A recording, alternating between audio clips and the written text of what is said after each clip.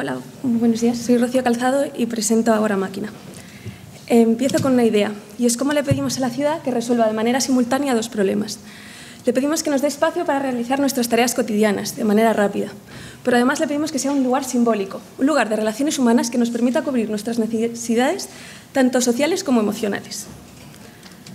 Así, Agora Máquina es, es una propuesta para una ciudad de un futuro muy cercano, una ciudad hiperdensificada exigirá mayor movimiento y mejores conexiones no solo con los centros urbanos, sino con todo el territorio.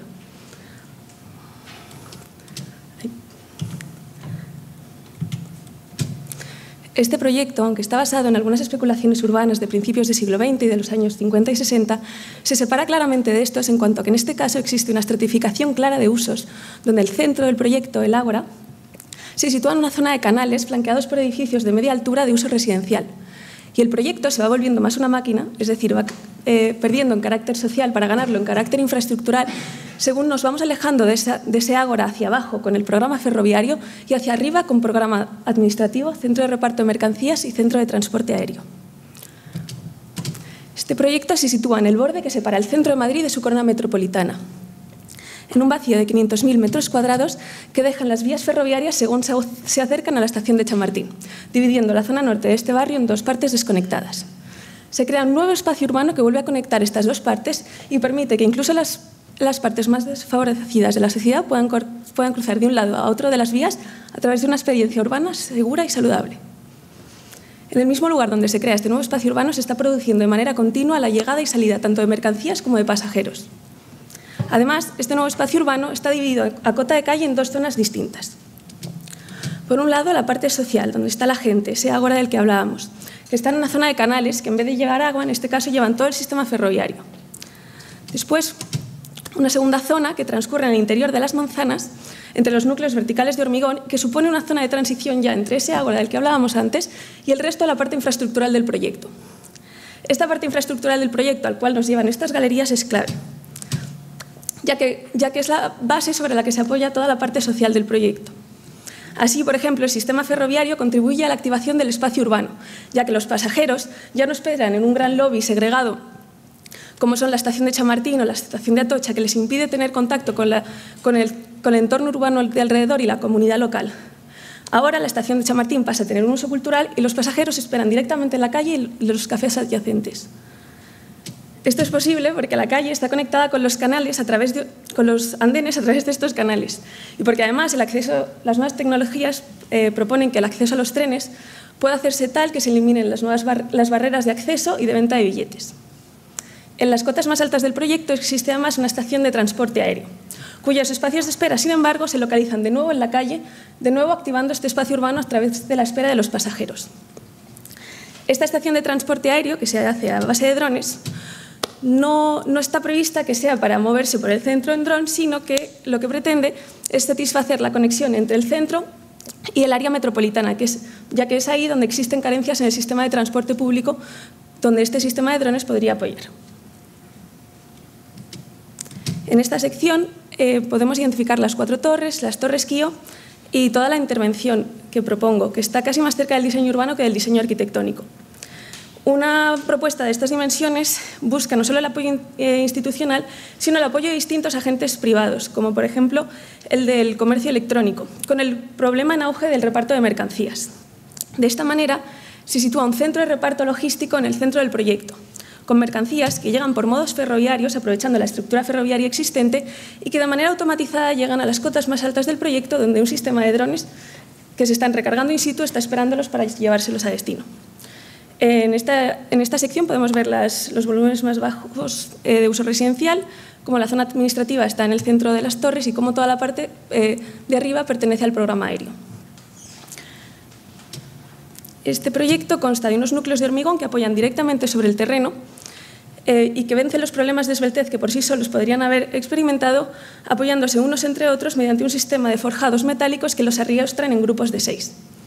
Asimismo, las partes más altas del, de las partes más altas del proyecto cuelgan una serie de plataformas que eh, proporcionan el, espacio para el despegue y el aterrizaje tanto de drones de mercancías como de pasajeros y que están colgando mediante un sistema de tensores que eh, corrige las vibraciones ocasionadas tanto por el viento como por la propia estructura. mm, en esta unidad del conjunto podemos ver cómo todas las conexiones verticales llegan directamente a la calle. De manera que si uno llega en dron y pretende coger el sistema ferroviario, es decir, utilizar todo este conjunto como un sistema de transporte intermodal, deberá transitar esta calle durante unos metros. Y aunque esto va un poco en contra de todas las teorías de transporte intermodal, donde las conexiones son clave para que sean eh, fluidas y sin interrupciones, lo que se busca es que al interrumpir estas eh, conexiones verticales con la calle, el pasajero tenga que transitarla durante unos minutos y sea partícipe y sea consciente de la realidad local donde se está encontrando. Todos los usos del proyecto, tanto el residencial como administrativo, como todo el reparto de mercancías, etcétera, se organiza de manera tal en la sección que las partes más habitadas del proyecto están más cerca del ágora del que hablábamos, de la, calle, de la zona de los canales. De manera que uno pueda participar de la actividad urbana también desde el interior del, proyecto, de los edificios. El proyecto asimismo se va quedando más vacío según se aleja de este ágora y va ganando en carácter infraestructural. Todos estos usos conforman la totalidad de este proyecto. Este proyecto, un proyecto que ya por acabar busca entender cómo la ciudad de la logística puede convivir con la ciudad de las relaciones humanas en un mismo lugar, aprovechando además así la ciudad en su totalidad y resolviendo algunas fracturas urbanas que las infraestructuras del siglo XIX y XX han ido dejando en nuestros centros urbanos. Que la ciudad sea siempre, siempre un lugar de relaciones humanas, pero que además nos permita realizar nuestras tareas cotidianas de manera fácil y sencilla. Que la ciudad sea tanto un ágora como una máquina. Gracias.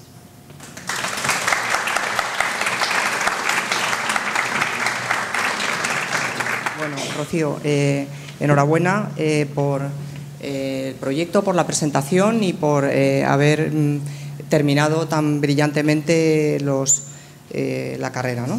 ya entrando en el tema del proyecto y en el tema de, la ciudad, ¿no? en el tema que, hablas de, y, propones para, para, tu proyecto, hay una cuestión en la que no estoy de acuerdo es cuando dices que es un proyecto más de reflexión, has dicho, de reflexión urbana que de reflexión arquitectónica. En esto no estoy de acuerdo porque yo pienso que, eh, bueno, no es que lo piense yo, es que la historia de la arquitectura ahí está.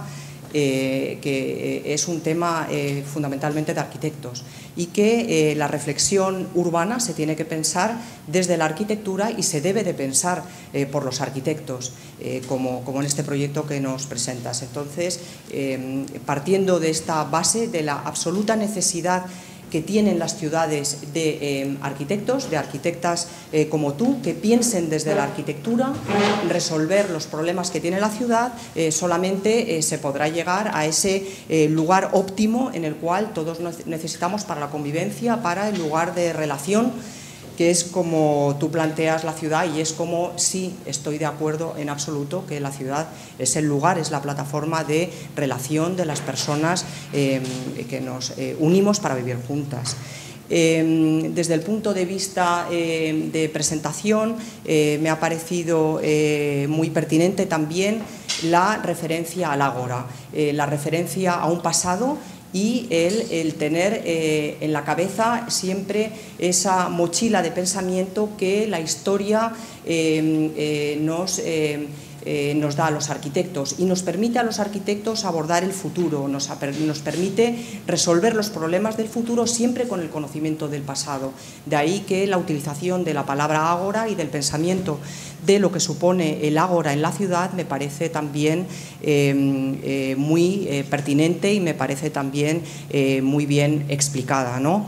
Y por último, eh, y volviendo a insistir en la necesidad eh, absoluta que tienen nuestras ciudades de mm, arquitectos, de arquitectas eh, como tú, en puntos en las cuales se producen o se han producido brechas, como es este caso, en el caso de Chamartín, las brechas urbanas, son muchos los ejemplos que hay también de las brechas que producen todas las vías ferroviarias en las ciudades y que hay que resolverse, de las brechas enormes que produce, por ejemplo, las excavaciones arqueológicas en las ciudades, en las cuales solamente personas que son eh, absolutamente focalizadas en eh, los problemas tanto de los trenes como de la arqueología, que solamente ven con un zoom absolutamente próximo, son capaces solamente de, de trabajar en esos puntos tan absolutamente acotados. ¿no? sin embargo, la visión del arquitecto, la visión del arquitecto de saber de la necesidad de la continuidad en la ciudad,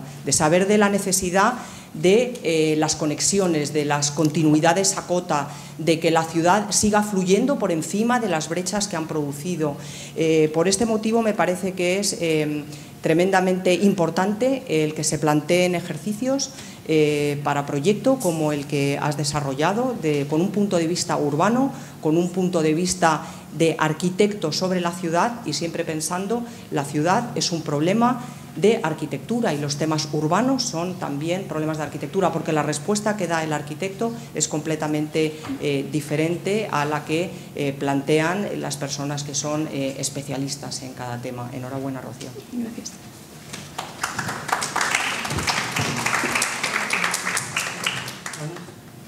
Buenos días, soy Alba Tritiño del Aula Sancho y esto es Falastrio Factoría.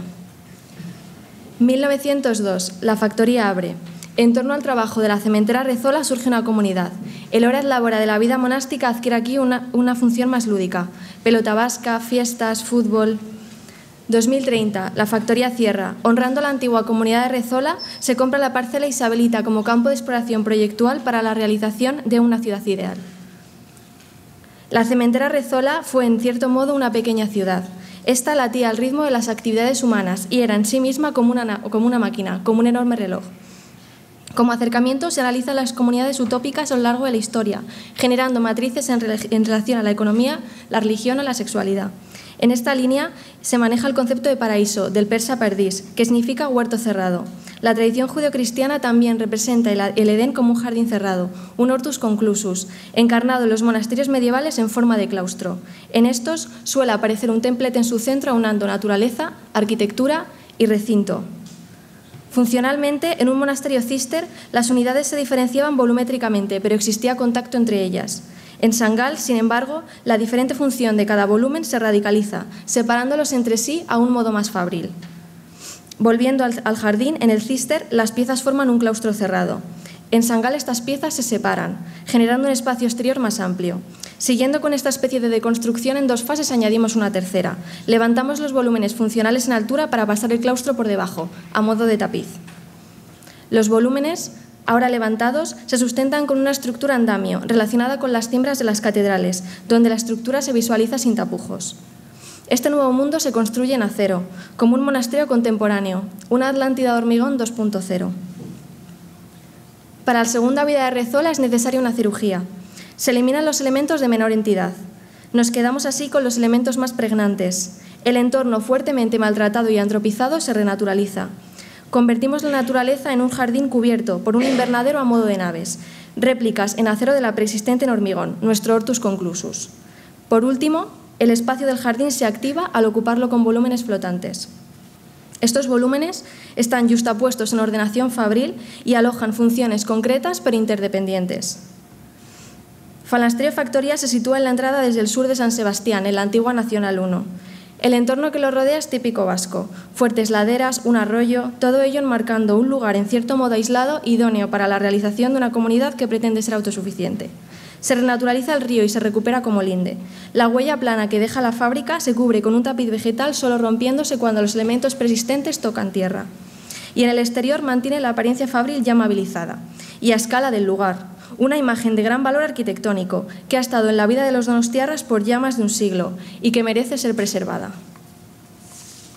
Esa apariencia fabril viene marcada por la justaposición de volúmenes, que van a ser de dos clases. Uno, elementos persistentes y dos, elementos nuevos o artefactos.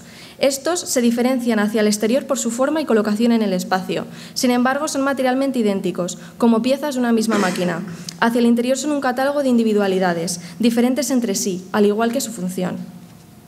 Falasterio Factoría forma un conjunto unitario y complejo, de ordenada gestación, algo que posibilita una gran legibilidad urbana y programática, y una gran riqueza de espacios, escalas y ambientes.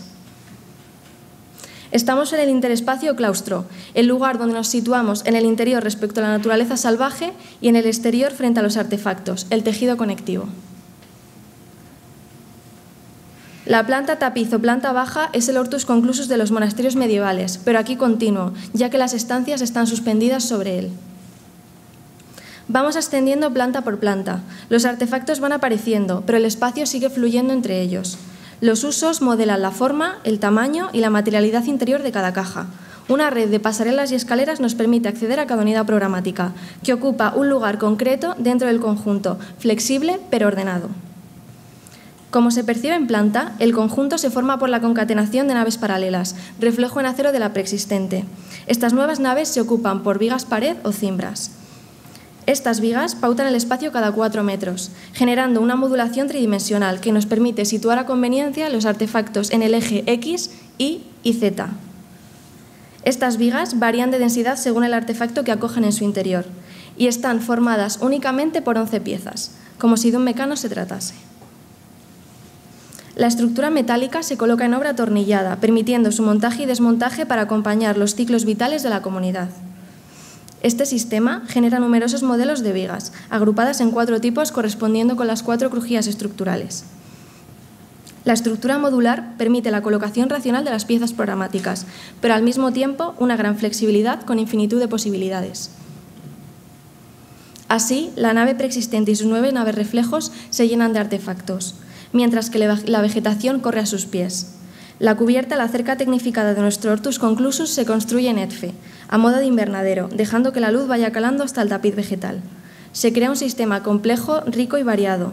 Fuera de los artefactos se genera una sección cambiante, donde el espacio se comprime y descomprime, jugando con la escala.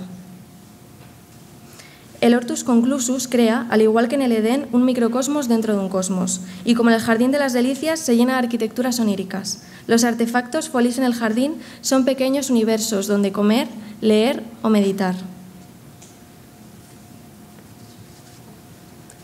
Los artefactos se combinan y activan acciones de la vida diaria. Aquí vamos a relatar cuatro ejemplos.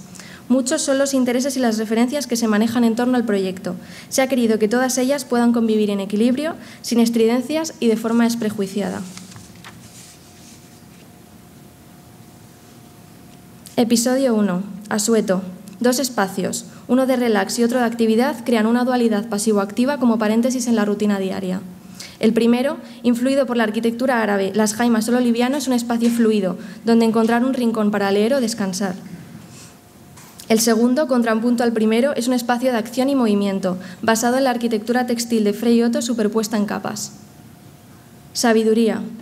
Un episodio formado por cinco artefactos, de los cuales desarrollaremos dos. El primero ocupa cuatro silos de la antigua fábrica que se vacían, creando en su interior una biblioteca, en cierto modo piranesiana, que recuerda a la monástica del nombre de la rosa. El segundo es un espacio de debate, formado por dos conchas cóncavas, la inferior una grada y la superior una cúpula abierta formada por estratos, que simboliza, al igual que las puertas de Karnak, las capas del conocimiento. Éxtasis, capítulo del encuentro y del amor, formado por dos espacios semejantes en cromatismo pero distintos en textura y materialidad. El primero es un espacio de dualidad, de encuentro meramente visual, un espacio aristado en forma y en textura en lo macro y en lo micro. Su funcionamiento remite a los jamanes y a las termas. El segundo contrasta con el primero. La geometría dura se convierte en mórbida, casi biológica. Invita al encuentro ya total entre los moradores del falasterio, en un ambiente sin esquinas y donde la luz se filtra a través de la piel. Liturgia. Este capítulo está formado por dos artefactos, uno de la muerte y otro de la vida. El primero es una arquitectura de centralidades, un cubo romo dentro de un cubo. Las caras humanas en las facetas simbolizan a los seres queridos y en su reverso se sitúan las cenizas. El segundo es un artefacto de contemplación, de agradecimiento, formado por ocho capillas, en un espacio que recuerda al tipo, al tipo basilical, aquí reinterpretado convirtiendo los paramentos dicroicos eh, en las vidrieras. La definición constructiva de cada artefacto tiene como objetivo radicalizar la idea ambiental del mismo, sea con un sistema textil, óptico o agregativo. Falastreo Factoría es un conjunto unitario y complejo, ordenado y variado. Es como una pequeña ciudad, o visto de otro modo, una gran máquina, un artefacto social cuyos engranajes se activan con los ciclos vitales de la comunidad. Muchas gracias.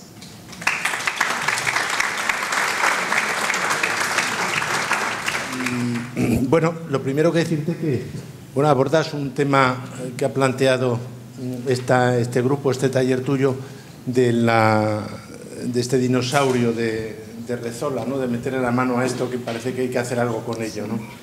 Y empiezo por, bueno, por felicitarte porque tu ejercicio hace un ejercicio cultural pues muy bonito, que a mí me ha gustado mucho, porque la historia me gusta mucho y entonces pues tú has arrancado pues de todo, de la arquitectura medieval, con un discurso a los monasterios, con un discurso a toda esta eh, al entendimiento un poco de la cultura de la, en la que estamos, ¿no? Grecia, Roma y la Europa cristiana que, estamos aquí, ¿no?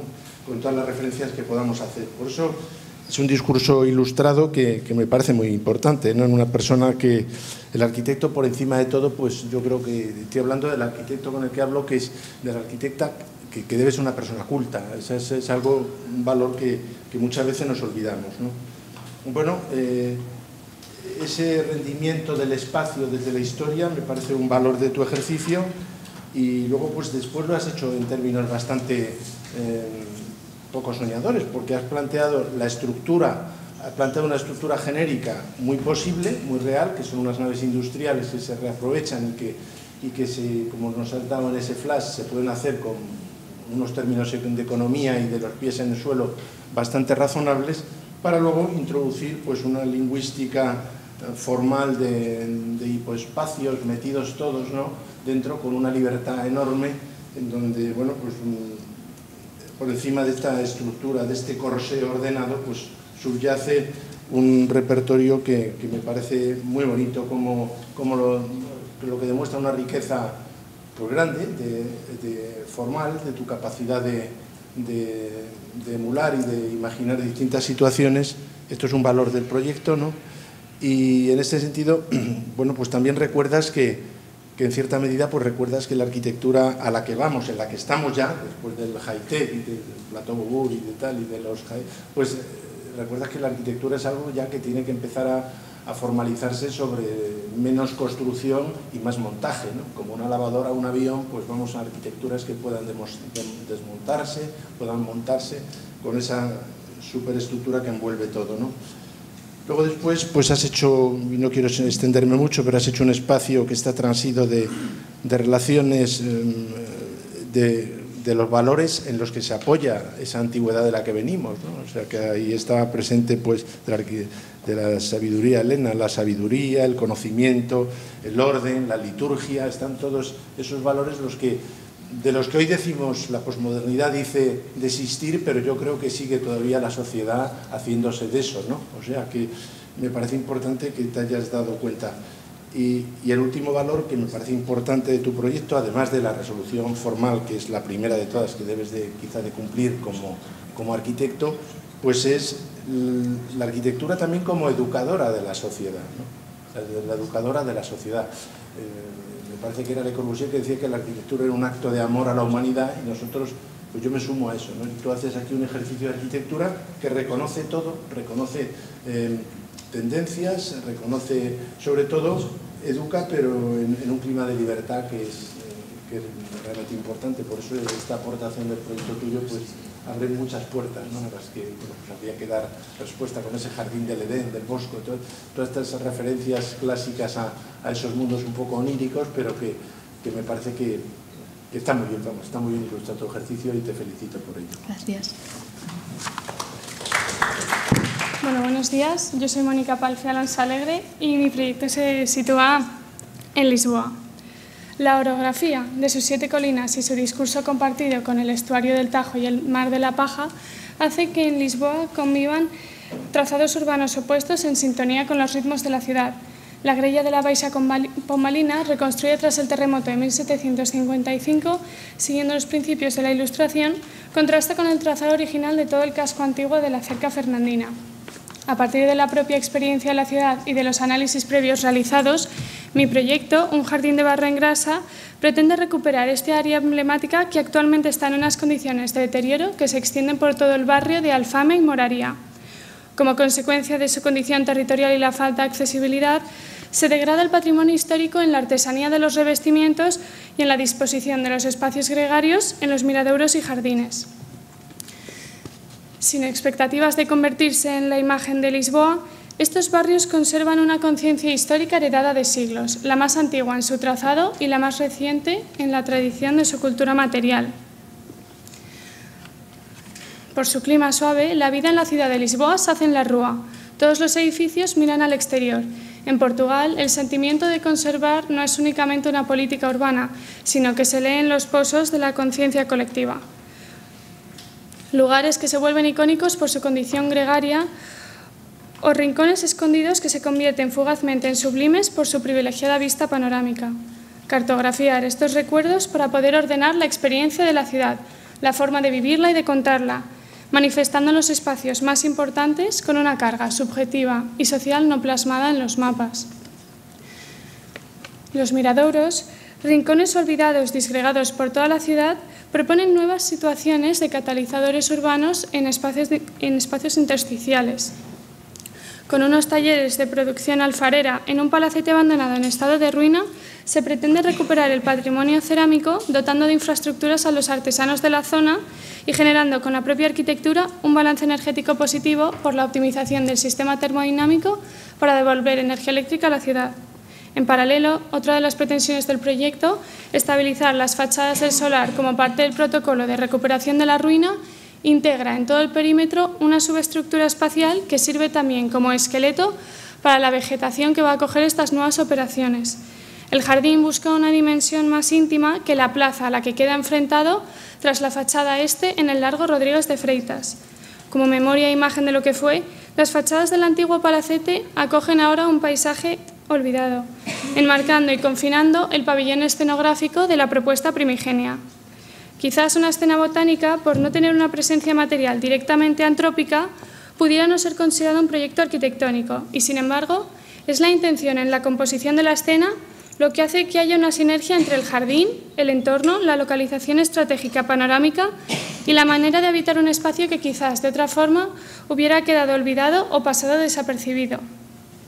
A diferencia de la arquitectura en la que los confines están predeterminados y deliberadamente construidos y no hay un desenlace imprevisto o espontáneo, nunca se puede recuperar la misma experiencia anterior de un paisaje. Con la introducción de la máquina termodinámica, se hace el paso de este pequeño manifiesto poético al palacio, incorporando una nueva cartografía de usos, sin pretender crear un arquetipo de espacio público ideal, sino un lugar de comunidad creativa entregado a la ciudad, anidado en el interior del solar, acogido por los planos que, casi como ruinas modernas, lo enraizan al espíritu del barrio.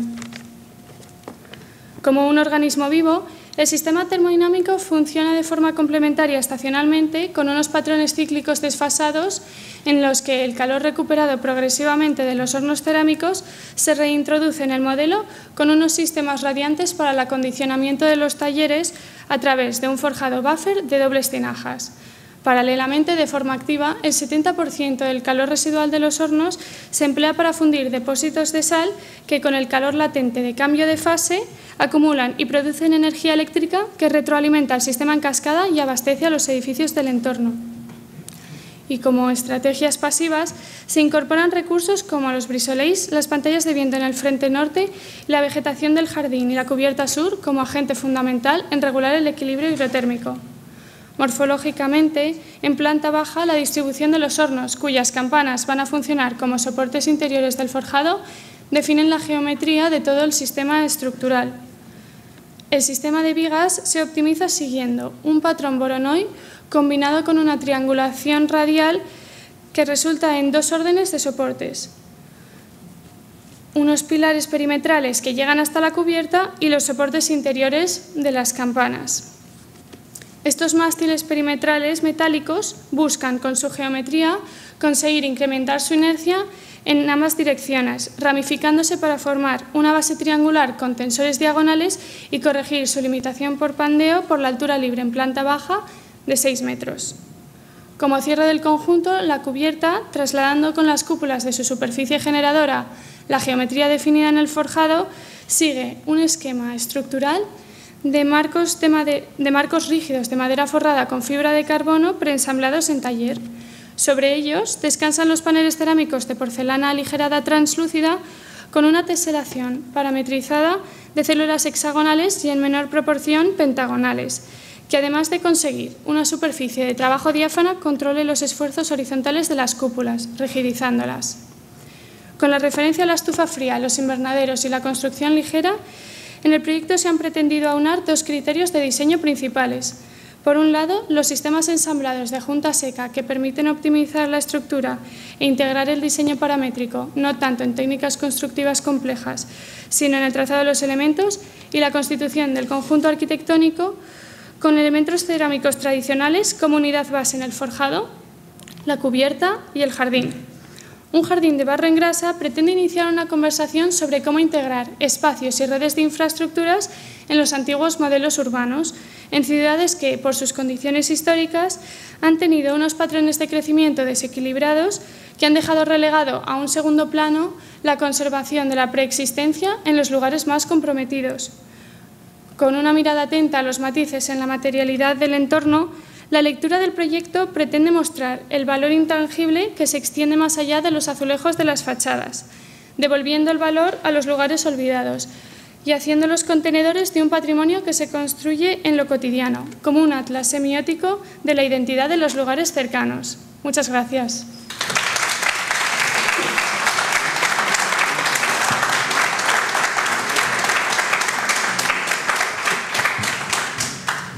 Muchas gracias, eh, Mónica. También eh, felicitarte por, tu, por estar aquí, por estar con este eh, bello proyecto en la ciudad de Lisboa. yo creo que, que, el proyecto tiene, para empezar, habría que decir que es una ciudad que es muy distinta de Madrid, con una, un gusto por el pormenor que tú has explicado al principio, por el azulejo, por la carpintería, es una carpintería muy distinta a la que conocemos, por ejemplo, en el casco antiguo de Madrid, por los pavimentos, cosa que sorprende. Así que un proyecto que, digamos, quiere tener una escala pequeña, amable, confeccionada, que busca el pormenor, que se satisface con piezas quizá demasiado pequeñas si las contemplásemos desde un punto de vista madrileño, pero yo creo que desde el punto de vista de Lisboa, donde los árboles aparecen y desaparecen con bastante desenvoltura por las calles, los almeces, pues eh, me parece que tiene un, eh, sabe entender algunas de los de los valores, de los encantos que esta ciudad tiene. Eh, a mí me gusta el proyecto en lo que tiene de difícil de definición, porque si dijéramos que es un jardín no lo podríamos decir. Yo creo que porque hay demasiada construcción y un jardín se caracteriza porque la construcción no, digamos, ocupa tanto en el jardín. Pensemos, por ejemplo, en el Retiro, pensemos en el Parque del Oeste, o pensemos en un jardín más pequeño, ¿no? como el del que da el Museo de Sorolla. Entonces, eh, eh, a lo mejor el jardín es la construcción en sí, es decir, que son esos objetos cargados de un cierto romanticismo, al mismo tiempo que deseo técnico, los que están construyendo esa mm, libertad formal y plástica que podemos apreciar en la naturaleza. O sea, eh, no es edificio, no lo es, no lo vemos el edificio en ninguna parte, pero tampoco vemos el jardín. Y sin embargo, es verdad que esos límites difusos, arriesgados, yo creo que muy arriesgados para un proyecto fin de carrera, entre qué es jardín, qué es edificio, dónde está el programa, cómo se disuelve el programa, eh, me parece donde se, encuentra el valor del proyecto. Yo valoro mucho que, una persona tan joven, además haya elegido un tema de proyecto con un tamaño tan pequeño, porque sabemos que con, objetos tan pequeños es muy difícil esconder los posibles errores que siempre un proyecto tiene que tener. Entonces, no sé, me parece que es un, es un bonito proyecto y es una bonita demostración de tu interés por la arquitectura. Enhorabuena.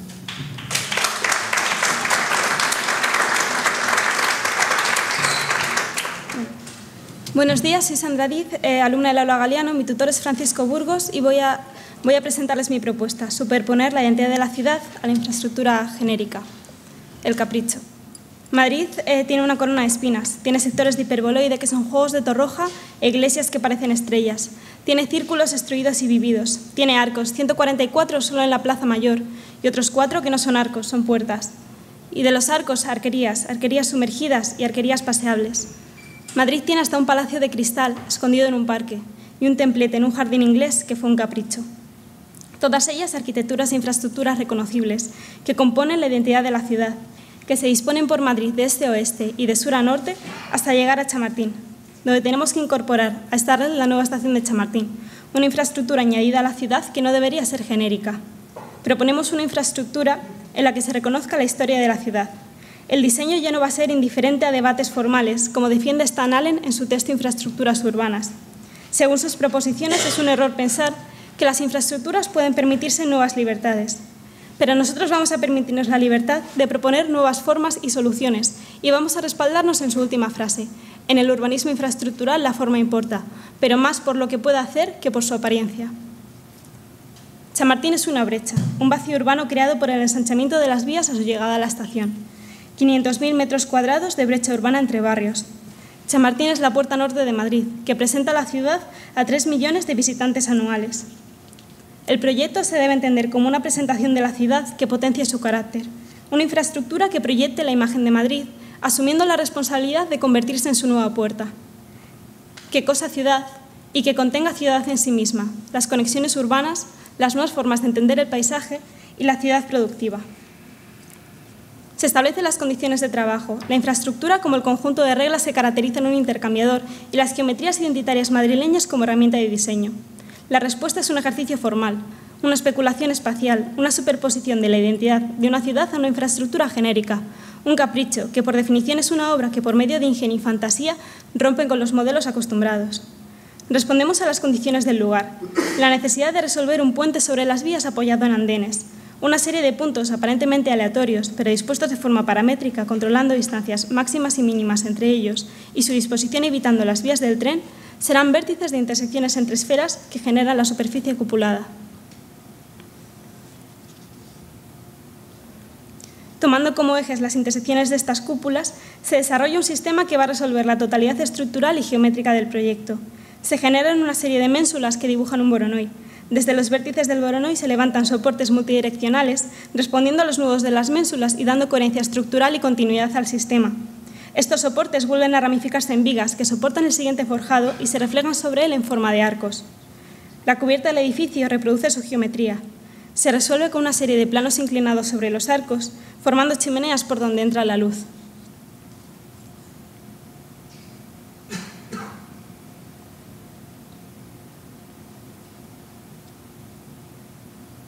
Como resultado, tres estratos, tres espacios, tres ambientes en los que leemos las geometrías de la ciudad y tres soluciones estructurales, cúpulas, soportes y arcos que trabajando a compresión equilibran el conjunto.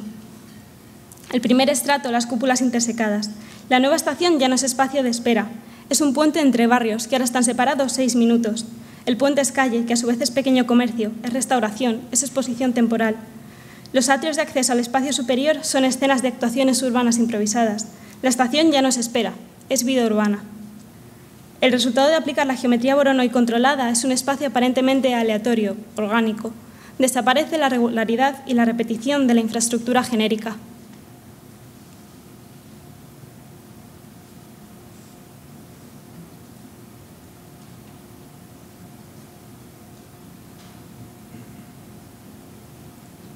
El segundo estrato, el capricho provocado, da nombre al proyecto. Es, la suerte espacial que nace del sistema estructural, una topografía artificial de cúpulas como si fueran colinas y de soportes como si fueran árboles. Es la nueva forma de entender el paisaje urbano. A 12 metros sobre la cota calle, en un espacio completamente abierto, se producen distintos ambientes tejidos por un recorrido como en un jardín inglés, que a su vez comunican con zonas del ámbito de Chamartín mediante paseos peatonales, ciclables y de vehículos eléctricos. Es un estrato caprichoso que quería jugar también a ser Madrid. En este caso, es su parque más bonito.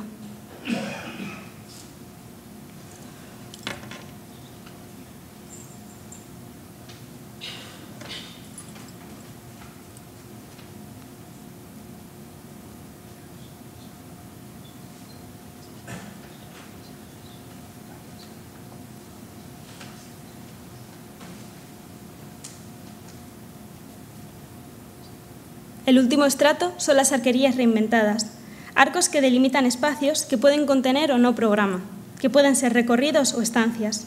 Este estrato responde a las necesidades de la ciudad productiva, alquiler de espacios de trabajo, salas de reuniones, cafeterías, espacios recreativos, talleres, aulas y demás dotaciones propias de la ciudad.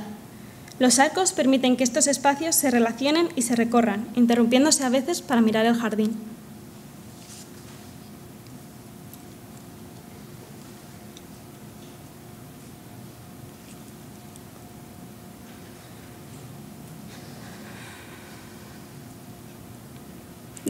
Desde el inicio del proyecto, la propuesta espacial ha ido acompañada de la resolución técnica de la misma.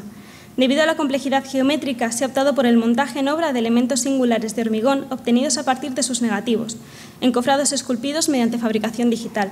Así, casquetes de cúpulas, ménsulas, soportes y arcos serán prefabricados y colocados en obra. La unión de las piezas se realiza mediante manguitos de atado, garantizando el comportamiento conjunto de toda la estructura.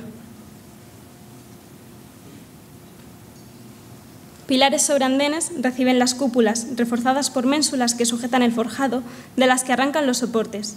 Las vigas sostienen el siguiente forjado y el nudo se refleja en las intersecciones de los arcos, en cuyo perímetro asientan las chimeneas de cubierta.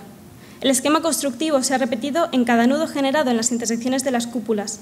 Este modelo tectónico prueba que el ejercicio propositivo se ha, eh, expuesto se ha basado desde el principio en su resolución técnica. Para el cálculo se ha reducido el proyecto a un fragmento. La complejidad geométrica ha hecho imposible el uso de programas de cálculo convencionales, por lo que se ha aprovechado la oportunidad para aprender y poner en práctica Caramba, un programa de cálculo vinculado a Grasshopper. Los resultados han permitido asegurar el equilibrio del sistema propuesto.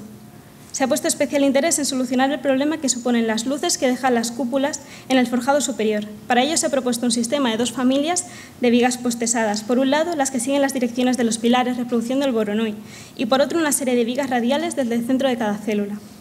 Sobre el pilar se diseña un nudo desde el que se tesan estas vigas, rellenándolo después de mortero sin retracción. En el urbanismo infraestructural la forma importa pero más por lo que puedo hacer que por su apariencia. Nos hemos permitido la libertad de proponer nuevas formas y soluciones y el resultado es una estratificación, de manera diferenciada, de espacios que son únicos y a la vez referencias a Madrid. Cada espacio se traduce en un lenguaje constructivo y el sistema consigue que se entienda como conjunto. La infraestructura no es genérica y la forma no es un capricho. Gracias.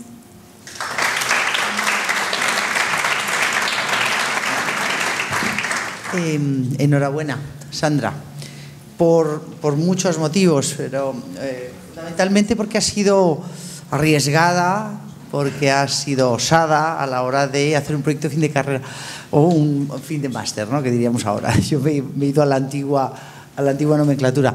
Em, hay que, eh, en todas las cuestiones, en todos los proyectos que, que realizamos, tenemos que tener un grado de investigación importante. Yo creo que aquí tú lo has tú lo has manifestado, a través de una geometría eh, muy compleja que te ha permitido muchísimos grados de libertad, que te ha permitido también introducirte en un territorio desconocido para ti, como era eh, esas estructuras complejas también que has estudiado a través de esos nuevos programas. A mí me parece que eso hace que el proyecto eh, tenga esa condición también de aprendizaje de algo que en tu final de tu carrera eh, desconocías. Me parece que es muy importante, por eso te felicito. Me parece que es un proyecto que, mm, que tiene la, elección, digamos, de estos proyectos alrededor de, del área de oportunidad de Chamartín es difícil, es compleja, porque es un sitio que tiene una dimensión, no sé qué longitud tiene, pero estará alrededor de los 300, 400 metros. Claro, cuatro manzanas de Madrid para que eh, se hagan una idea. Claro, eh, coger la dimensión de ese aparato es difícil. Y yo creo que tú lo has hecho muy bien, eh, con esas superposiciones en, vertical, con esa condición de tres, tres distintas superposiciones o tres distintos ambientes eh, en cada una de ellas, con una estructura muy medida que da la dimensión del, del usuario. El usuario no se siente perdido en esa gran inmensidad, sino que tú encuentras muy bien eh, digamos, la funcionalidad de cada uno de esos, eh, de esos lugares. Me parece que la escala es, eh, digamos, y la relación con, con, lo que tú has dicho, la vida urbana que tú construyes en ese lugar, está muy bien. Y era un reto y complejo. Y nada más, felicitarte. gracias.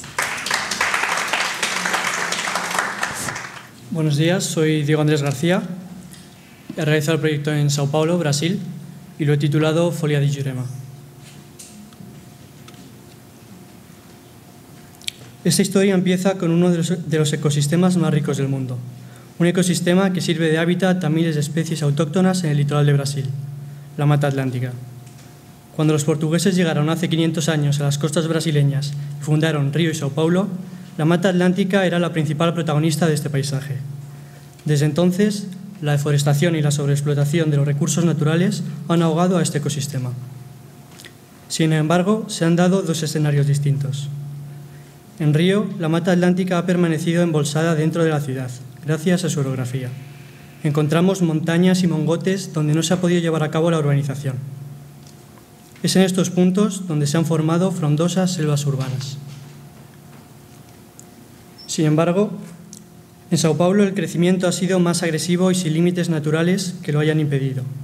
Esto ha provocado una sobresaturación de la ciudad, desplazando su ecosistema natural autóctono a un plano periférico. Además, la construcción desmedida de infraestructuras ha comprometido en muchas situaciones el espacio público, obligando a ocuparlas temporalmente sin que estén pensadas para ello. También realizando gestos arquitectónicos de levantar edificios enteros para crear estos espacios. Pero sin duda, una de las mayores consecuencias de este desequilibrio es de carácter climático. La gran cantidad de hormigón y asfalto expuestos al sol producen un aumento de la temperatura que modifica el clima de la ciudad. Esto provoca el fenómeno de la isla de calor urbana. El proyecto trata de resolver estos problemas mencionados, la desaparición del ecosistema autóctono, el efecto de la isla de calor urbana y la necesidad de nuevos espacios públicos. Todos ellos relacionados por el mismo causante, la sobresaturación de la ciudad. Para el siguiente condicionante de proyecto, vuelvo la mirada a Río. Recupero la idea de la mata atlántica superpuesta sobre la topografía de la ciudad. En Río, estas selvas urbanas se pueden recorrer a través de unos senderos llamados trillas, que van asomándose a la ciudad desde las alturas. Traslado esta idea para incorporarla a la topografía de Sao Paulo, una topografía urbana de ciudad construida. Me sitúo en el barrio céntrico de República, uno de los más afectados por la isla de calor urbana. La estrategia es superponer una celosía vegetal que rompa con la isla de calor, un sistema de cerchas y torres que colonizan el plano de cubiertas de la ciudad. Desde esta cota descuelgo un parque urbano, un parque urbano de cultivos hidropónicos donde albergo la mata atlántica. Selecciono el estrato de vegetación inferior, un tipo de vegetación de porte pequeño pero de hojas abundantes y de gran superficie para captar la luz tamizada por los estratos superiores. Para que este ecosistema funcione, el proyecto es una superposición de elementos independientes que recrean de una forma artificial las condiciones de este estrato de la selva. Estos elementos crean un paisaje artificial que se mezcla con la vegetación. Unas pasarelas a modo de trillas urbanas lo recorren. Desarrollo uno de estos fragmentos, un módulo de 130 por 15 metros de ancho, compuesto por tres torres. Estas torres se introducen en los patios de los edificios existentes y por su interior se descuelgan tubos textiles para su ventilación. Son soporte de las terchas que salvan luces entre 30 y 50 metros y van adaptándose a la topografía creada por las cubiertas y las medianeras. En la cota de la cercha se sitúa el sistema de, recogida de agua, un conjunto de lonas textiles y plásticas que están perforadas por el paso de los cables y de las pasarelas. Estas perforaciones permiten el paso del aire y de la luz y sirven como tamiz, simulando el estrato superior de la selva. Sobre estos elementos discurre una pasarela de mantenimiento donde se tiene acceso a los depósitos y depuradoras, desde donde se prepara y se almacena la solución nutritiva de las plantas. Desde estos troncos el agua se distribuye a las diferentes jardineras mediante riego presurizado. Este parque se vertebra a lo largo de dos recorridos. Un recorrido longitudinal a través de una rampa se cruza con otro más quebrado e inclinado. Ambos recorridos van cambiando de cota y accediendo a las cubiertas de los edificios desde, donde se tiene acceso. Estos accesos se hacen a través de varios edificios públicos. El resultado es una nueva trama verde que se superpone a las manzanas de la ciudad, de manera rotunda y apropiándose de su topografía, de la misma forma que la vegetación fue apartada. Constructivamente, las cerchas están formadas por perfiles tubulares y cables de acero. Los nudos son preparados en taller y atornillados en la obra. El canto mínimo de la cercha es de 4 metros y el máximo de 8. Las torres se montan en varias fases. Están formadas por pilares con estructura espacial soldadas en taller en módulos de 6 metros que son colocados en las esquinas de los patios. Los módulos se atornillan entre sí. Por el interior de las torres se descuelga un tubo textil que va atirantado mediante cables a los pilares. Las pasarelas están formadas por paneles de Tramex y perfiles metálicos perimetrales que cuelgan directamente de la cercha. Se diseñan varias, se diseñan varias jardineras varias jardineras hidropónicas. Son piezas extruidas y moldeadas en PVC y recubiertas de chapas de latón, que contrastan con la materia biológica de las plantas. Unas, de disposición lineal, son depósitos cilíndricos de 4 metros de largo y un metro de diámetro. Contienen sustrato de lana de roca donde se colocan las plantas, encima de una cámara de agua donde llegan las raíces. Estos cilindros se unen mediante una estructura metálica a modo de gaviones que contienen trozos de leña y de corcho. Esto sirve como sustrato seco para plantas de raíces aéreas como las bromelias y lugar de anidación de los insectos que dan continuidad al ecosistema. Otro tipo de jardineras se diseñan como unas balizas esféricas bicamerales que se abrazan a los cables, que servirán de soporte para plantas colgantes y trepaderas.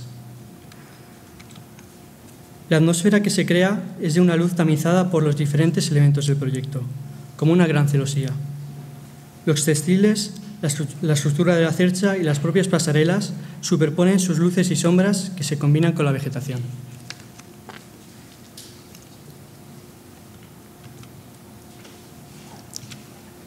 El nombre de este proyecto es un homenaje a la yurema, una planta medicinal de la familia de las mimosas. Esta planta, con propiedades sanadoras, es utilizada como un bien sagrado por la cultura orisa en la selva de la Mata Atlántica, el mismo ecosistema que fue apartado de la ciudad y que vuelve como remedio a los problemas de Sao Paulo, a la que siempre perteneció. Muchas gracias.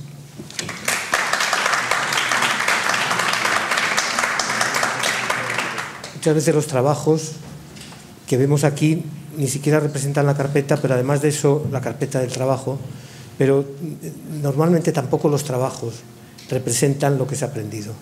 Lo que se ha aprendido suele ser más y distinto incluso a lo que el resultado del trabajo se produce. Eso conviene no olvidarlo tampoco en la profesión. No se acaba aquí vuestra formación, simplemente empieza y por lo tanto ese es el camino.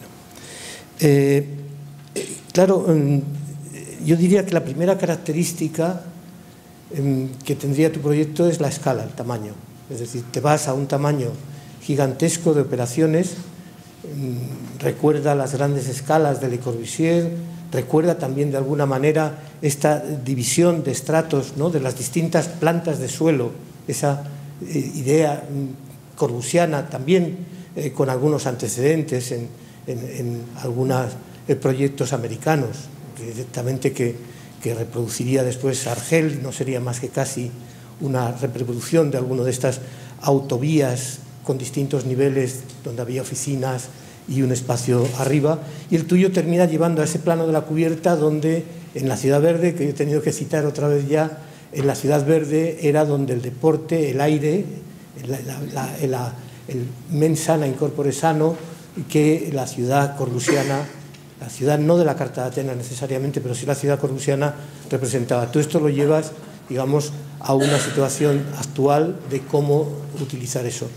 Y en la escala siempre hay esa, en estos proyectos de gran tamaño y en la cruce con la necesidad de hacer un proyecto fin de carrera, siempre hay esa dificultad de cómo se define un objeto grande y cómo mm, defino todo lo que yo sé hacer.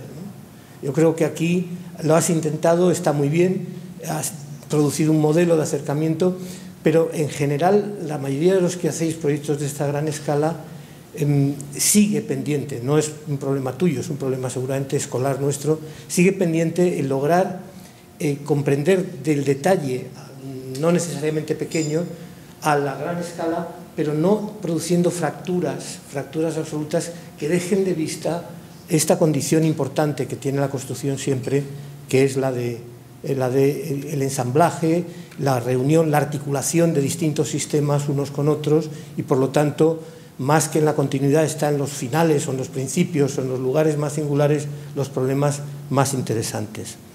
Me parece también que en la misma idea de aprovechar tu proyecto, porque esta será seguramente mi última intervención, porque vamos por orden y creo que ya no me toca una tercera, en estos proyectos de gran escala la otra consideración es cómo explicarlo en términos de arquitectura, no solamente en las ideas iniciales que se representan en los planos de 5.000, 10.000 y 25.000 si hace falta, sino en el acercamiento.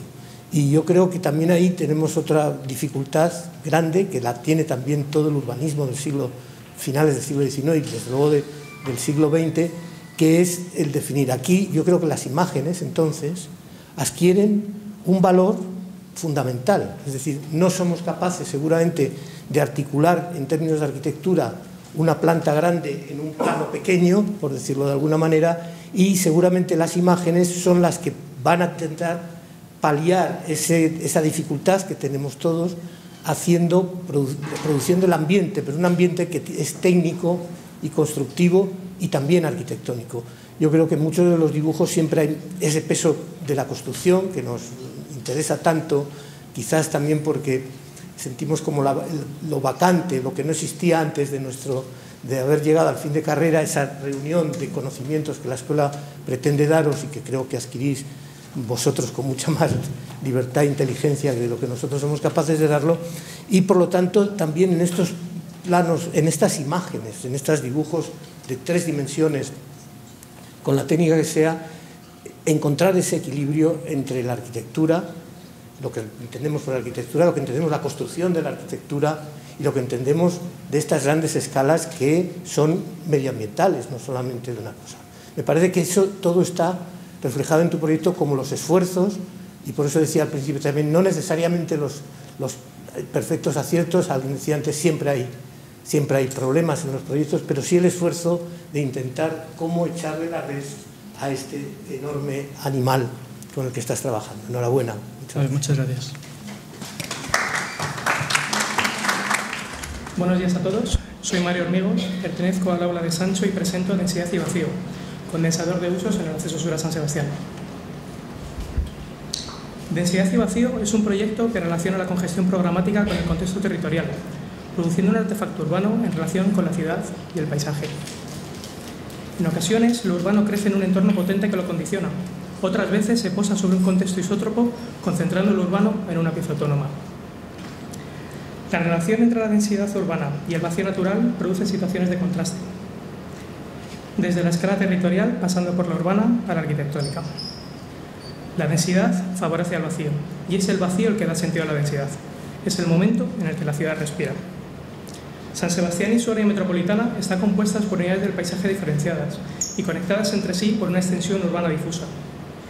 Dentro de estas áreas destacan sus grandes artefactos urbanos, objetos de gran escala que ordenan la trama jerarquizando y polarizando la ciudad objetos de, diversa índole, ya sea por estructura, programa o imagen, unidos todos ellos por una respuesta a la escala urbana por encima de la arquitectónica. En un futuro en el que uno de estos artefactos, la fábrica de cemento Rezola, antiguo corazón económico y social del barrio de Añorga, ha sido desmantelada, se propone la construcción de un nuevo condensador de usos a la entrada de la ciudad. Una propuesta de congestión programática suburbana contenida en una pieza urbana, conectada con la ciudad y con el paisaje, un contenedor de usos públicos y privados en el acceso a la ciudad. El proyecto apuesta por evitar el derrame suburbano, concentrándolo para liberar el territorio, creando un objeto autónomo pero conectado con la ciudad. El nuevo artefacto se inserta siguiendo las trazas de la antigua fábrica junto a la Nacional 1 en el acceso sur a San Sebastián, siendo un nuevo hito en la ciudad y en relación directa con el barrio de Añorga. Se divide el tratamiento del lugar en tres estratos. El primero conecta la ciudad al territorio, el segundo es espacio soporte de un programa público. Y el tercero es la ciudad que ha liberado el suelo para ocupar el cielo. La antigua fábrica fue frontera entre Añorga y el paisaje que la rodeaba. Ahora el proyecto en su primer estrato es la transición entre el borde suave del paisaje y el duro urbano. El basamento poroso de hormigón ocupa el vacío que ha dejado la fábrica y libera patios que hacen respirar al nuevo parque público y lo conecta con la ciudad que habita sobre él. Una acción en tres niveles diferenciados, en transición entre lo privado y lo público, entre la densidad y el vacío, donde los primeros aumentan al igual que la altura. El primer estrato acoge un programa público de parques y piscinas tallados sobre el suelo que antes ocupaba la fábrica. Propone un espacio abierto y fluido que cree continuidad entre Añorga y el paisaje. Sobre él, un basamento de hormigón, una gran pieza pétrea de aspecto masivo que es contenedor de grandes salas diáfanas, que acogen un programa público cultural y deportivo, que sirve de apoyo a la red de espacios de la ciudad. Pieza porosa, que es transición entre el primer y último estrato. La ciudad aparece en las torres. Estos elevados prismas contraponen la materialidad petra del anterior con un cerramiento que interactúa con su entorno. Un programa privado de viviendas, talleres y oficinas hace que aumente la densidad y la privacidad. Los elementos estructurales Verticales se ejecutan in situ. Los horizontales que encierran las salas se prefabrican para facilitar la construcción. Entre ellos, el nivel intermedio se resuelve apoyándose entre salas y torres, las cuales elevan sus núcleos verticales al cielo, desde los que vuelan unos forjados de loso bidireccional. El parque inferior se reúne aumentando el espacio bajo el gran basamento. Plataformas a distinta gota y conectadas entre sí dan continuidad al paisaje. El espacio fluye entre el soporte estructural de los niveles superiores. La vegetación invade los patios. El espacio abierto conecta Ñorca con el olvidado paisaje. El parque se esculpe en recuerdo de la actividad extractiva del lugar, para proveer así de nuevas instalaciones al barrio. El segundo estrato produce una conexión que se eleva, que se aleja del paisaje y se adentra en el entorno urbano. La estructura es el soporte de esa comunicación. La pieza completa el vacío y en su interior las grandes salas vacían la pieza. La sección se dilata en las salas, se contrae en el espacio común, se rompe con la aparición de patios. El basamento pétreo se orada en su interior. Dentro de la pieza las salas son islas rodeadas por un espacio común que las conecta. Solo la estructura interrumpe el espacio, que queda encerrado por una fachada continua. La luz se filtra por la cubierta y baña el espacio diáfano, comprimiendo aún más el espacio común. Las salas forman una unidad independiente, dilatando la sección en función del programa que acogen. Una sección que siempre aumenta acercándose al parque, creando un techo tallado sobre él. La estructura de vigas de canto de hormigón prefabricado, al igual que gradas y vigas de borde, se sustentan por los machones de los extremos. Machones que son soporte y comunicación, que elevan el programa público y lo ligan con el paisaje. Que se construyen por un doble muro de hormigón armado y ligero trenzado por una rampa. Cubierta y vigas apoyan en el perímetro, liberando el centro del machón para no interrumpir el espacio inferior. Tiene lugar en su interior un ascenso que se adentra en la pieza petra y se aleja del paisaje. El acceso principal se produce por una rampa helicoidal. La rampa asciende liberando un vacío central que ocupa la vegetación. Aparece entonces un borde en constante cambio, un punto de encuentro entre lo urbano y lo natural. El basamento se cierra con una fachada de hormigón prefabricado continua, revestimiento que da la vuelta en la cubierta y solo se interrumpen las salas. Las piezas de fachada crean una imagen rasgada, manchada por el agua que cae por los aliviaderos. La cubierta transitable, apoyada sobre un forjado de prelosa, se fragmenta por los canales que recogen el agua de la lluvia. Solo la luz atraviesa la cubierta en las salas e ilumina el espacio inferior. Las salas son espacio soporte para el programa público, nexo inmóvil entre el paisaje y lo urbano. La sección aparece en las torres, aumenta la densidad dentro de estos elevados prismas a la vez que lo hace la privacidad. Las torres se acercan y alejan creando relaciones entre sí. Forman una nube densa que flota sobre la anterior. Los núcleos verticales, descentrados y postesados, son el espacio superior de la planta, se libera así el espacio perimetral para que éste viva la condición de la nueva cota. La ciudad abraza la torre, diluyendo sus límites, deshaciendo la densidad en sus bordes. La estructura es contenedor de comunicación e instalaciones, el único objeto que interrumpe el espacio en transición entre interior y exterior. Las instalaciones se integran dentro del forjado y fachada, creando una pila activa que interactúa con el lugar. Sus fachadas contrastan con lo anterior, donde antes la pieza Petra se enfrentaba al paisaje vivo, ahora las torres vuelven a contextualizar el proyecto. Son reflejo del lugar y del paso del tiempo. Las torres de oficina se revisten de un muro cortina doble con acabado en espejo, que es reflejo del a menudo poblado cielo de San Sebastián. El vidrio es estructura y cerramiento, y entre ambas pieles una cámara de aire acondiciona el interior.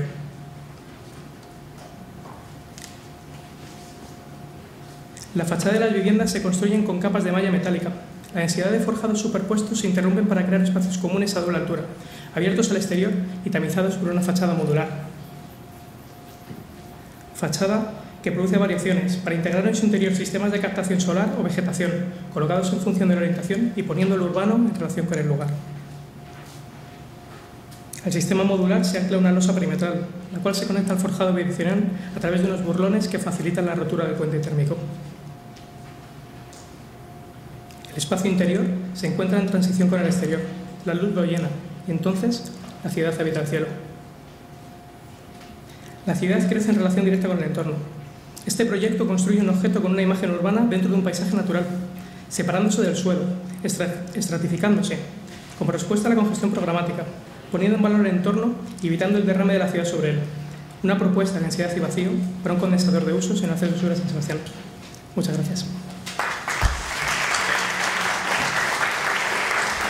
Enhorabuena por el proyecto, por la presentación, como a todos los que estáis eh, exponiendo hoy vuestros proyectos eh, de máster habilitante. Em, yo creo em, que comenzaría em, poniendo, poniendo en valor eh, el comienzo de la confrontación de la densidad y el vacío en la ciudad. ¿no?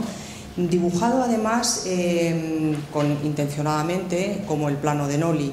Eh, en blanco y negro con los vacíos y haciendo hincapié en las piezas que son especiales en la ciudad.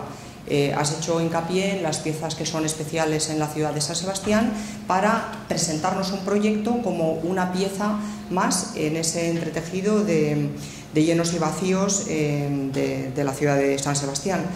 Pero también hay otra cuestión que yo creo que es común a proyectos que están en esta zona y en otros también, que es eh, la atención eh, que prestan las eh, distintas unidades docentes al reuso en la arquitectura, es decir, no solamente a la construcción de lo nuevo, a la construcción que parte del plano absolutamente en blanco, sino a la labor del arquitecto en cuanto a los proyectos que rehusan lo que ya existe, que trabajan sobre las capas de lo existente, que eh, no estamos descubriendo nada nuevo, es como siempre había trabajado el arquitecto antiguamente hasta que llegó la revolución del movimiento moderno que negaba todo lo anterior.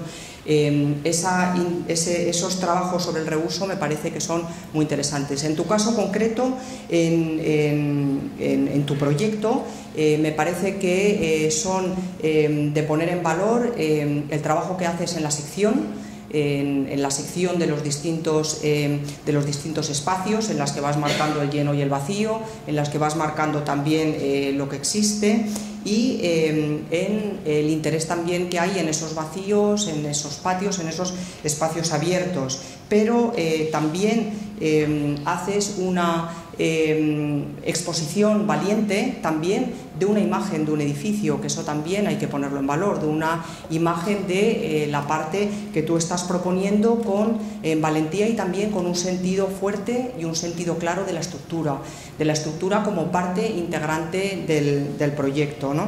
Y em, eh, bueno, mm, nada más eh, terminar también con em, esta esta mm, reflexión sobre la atención a la realidad, en este caso la atención eh, eh, al lugar y, a la fábrica eh, a la que incorporáis otra vez con, nuevos usos a la vida de, la ciudad. gracias.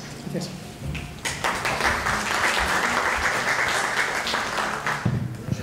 Ya. Buenos días. Mi nombre es Ana Patricia Minguito García y voy a presentarles el proyecto desarrollado en el aula docente de Juan Carlos Sancho. Estratificaciones easonenses. La esencia tierra en el elemento industrial de identidad. Ahora mismo nos encontramos inmersos en un fragmento de pausa espacio-temporal. San Sebastián, Añorga. 150 años atrás nace Cemento Rezola como referente del progresivo auge industrial en la fabricación de cemento. La colonia urbana circundante asume la condición industrial como sello de identidad. Sin embargo, la evolución de una huella industrial arraigada a un sistema tradicional hace disminuir la productividad hasta apenas 50 trabajadores, entrando en controversia con otros complejos industriales de mayor rendimiento en las inmediaciones.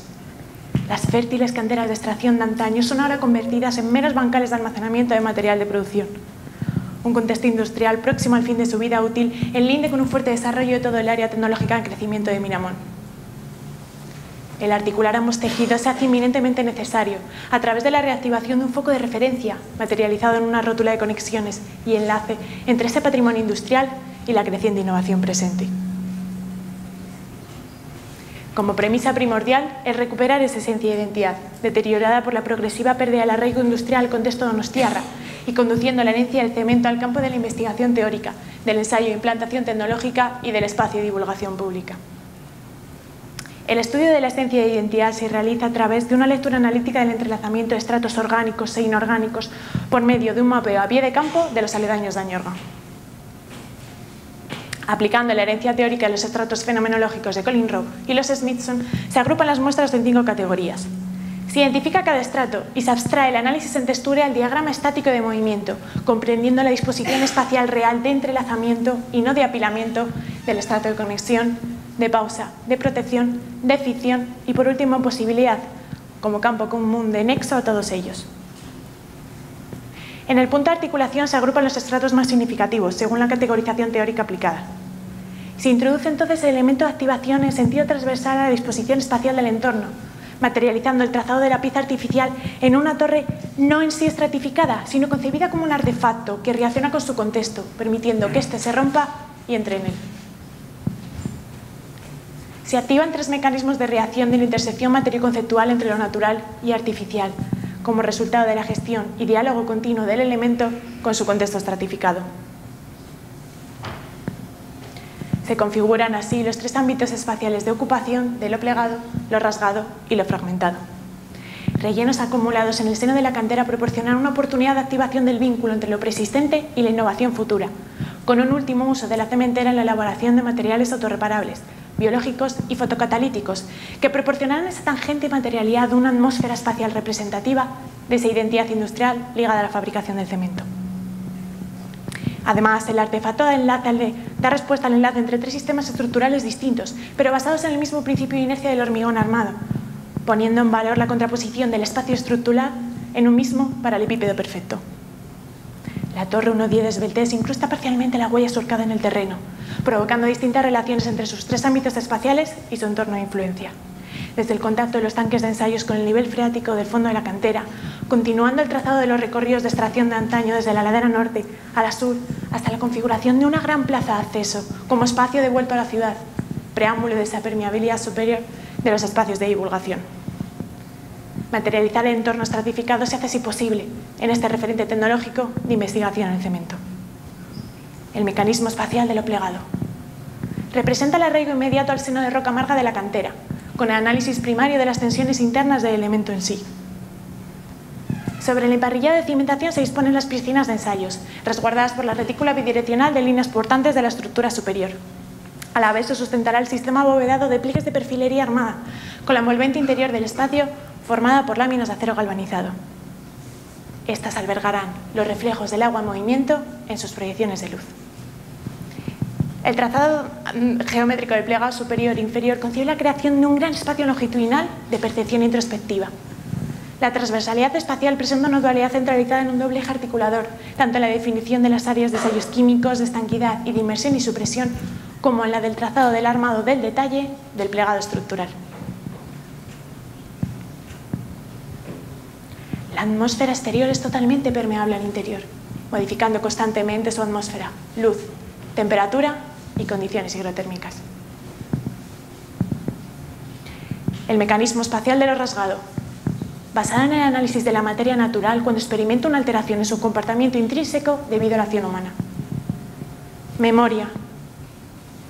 De los cruces de trazados de recorridos de antaño, ahora conectados gracias a la disposición geométrica de las diagonales estructurales. El quiebro va modificando su ángulo en altura, concibiendo el recorrido como el principio generador del espacio, que da acceso a los laboratorios de implantación tecnológica, de extracción mineral y de experimentación biológica. El trazado geométrico del quiebro se comprende en un desarrollo espacial según la disposición del modelo estructural, tanto en sentido transversal como en proyección horizontal, comprimiendo y dilatando el espacio según la trayectoria funcional del usuario y resguardado siempre por esa complejidad del armado estructural de todas las líneas diagonales de arrastramiento. La inserción del conjunto en el límite del pliego oriental de la cantera permite mantener un continuo diálogo entre interior y exterior, aumentando la inercia térmica del conjunto en una mimesis con su entorno natural, gracias al crecimiento microorgánico del hormigón biológico. Y por último, el mecanismo espacial de lo fragmentado. Representa la interpretación de diferentes configuraciones espaciales de las disgregaciones matéricas del entorno. La configuración superior de los estratos naturales perfora la masividad de la torre.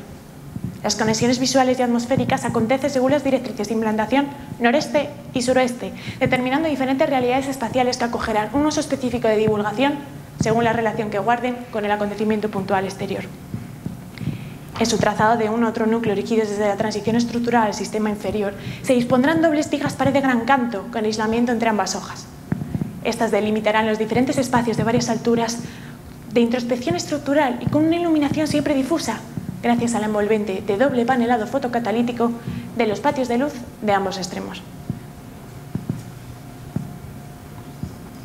Desde el espacio acogida a través de la gran plaza de acceso se van sucediendo salas multiprogramables en su contacto con el área tecnológica de Miramón, la Bahía de la Concha o el Chille de Alecu, hasta llegar a un gran espacio de contemplación y descanso en su vínculo directo con la cúspide del Monte Mendí. En definitiva, tres complejidades espaciales discordantes entre sí, resultados de esa contraposición estructural de los tres sistemas, pero que se construyen bajo unas mismas directrices comunes tanto conceptuales, materiales como atmosféricas, para dar lugar a las diferentes realidades de lo plegado, lo rasgado y lo fragmentado, en dicho trazado único de múltiple reacción a su contexto próximo estratificado. Se genera así una guía de la percepción del individuo a reminiscencias pasadas, arraigadas a ese recuerdo de herencia industrial, que pasa ahora por fin a convertirse en un acontecimiento coetáneo, actualizado al desarrollo futuro, configurando con todo ello una torre de referencia, de identidad del lugar, rótula de relaciones, conflictos y esencias de esas estratificaciones easonenses. Muchas gracias. Eh, en primer lugar, bueno, pues te felicito por por este trabajo en este sitio, del que están saliendo en la mañana muchos ejemplos. Y felicito al taller que, propuso el sitio, ¿no? porque me parece que, es oportuno. ¿no? Yo creo que tu, proyecto pues, mm, recoge, por una parte, algo importante en el sitio vasco donde se ubica, que es la tradición mm, pues de, de la plástica de sus artistas. ¿no? Estás muy cerca pues, de de Oteiza, de Chillida, tienes el Chillida Lecu muy cerca, o sea que todo eso está presente en tu proyecto y bueno, pues significa un poco un deseo de integrar eh, todas las bellas artes y que la arquitectura pues de alguna manera mm, actúe de manera emblemática, ¿no? O sea que yo creo que el emblema es algo que, también es importante. Está unida a la arquitectura, no entenderíamos París sin la Torre Eiffel, ni entenderíamos Nueva York sin la Estatua de la Libertad y muchas cosas parecidas. A lo mejor ese monumento hecho en ese sitio pues sería una referencia obligada en San Sebastián para todo visitante y de paso a Francia pues visitar y ver, y ver esa, esa magnífica torre. Bueno, eh, decirte que yo creo que planteas pues...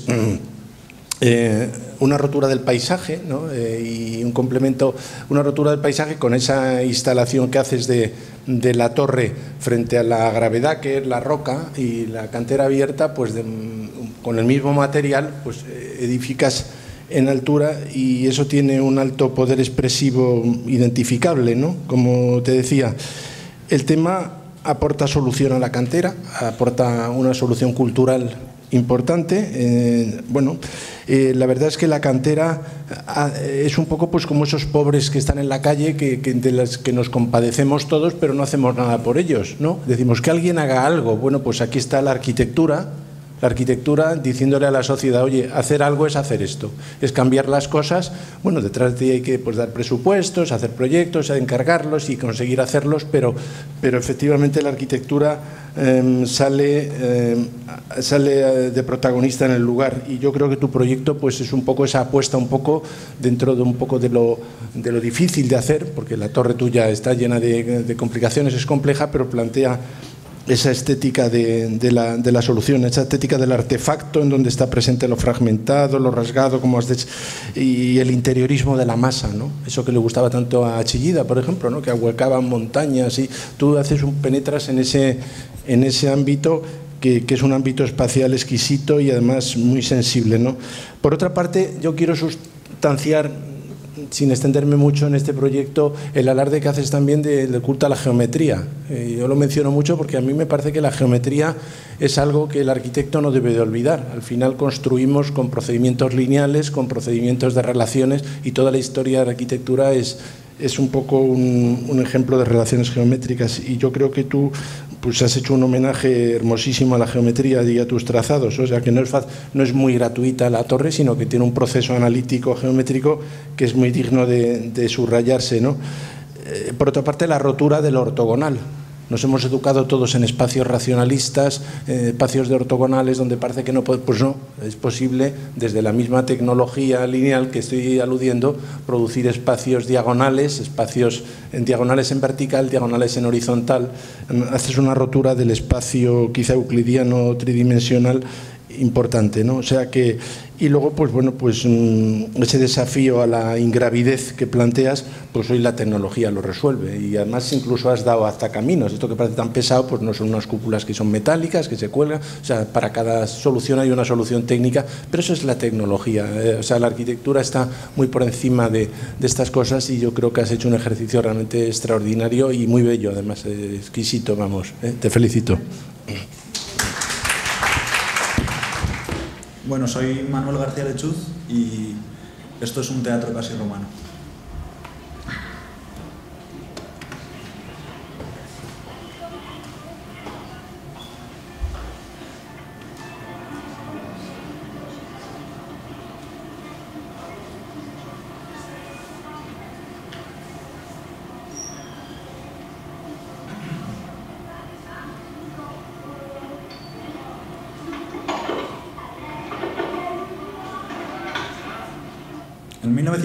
1940, Benito Mussolini regala a la ciudad de Zaragoza una estatua del emperador romano César Augusto, su fundador, en honor a su grandeza histórica y porque le debían faltar soldados.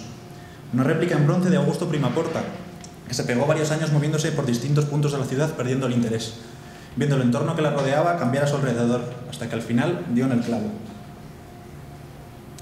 Allí, donde había una plaza del mercado de abastos que era centro neurálgico de la ciudad, donde los derribos para promover calles imperiales detonaron oportunidades y donde las pasarelitas pasaron a pasarelazas para que la ciudad creciera, allí quedó lugar para César Augusto, o no.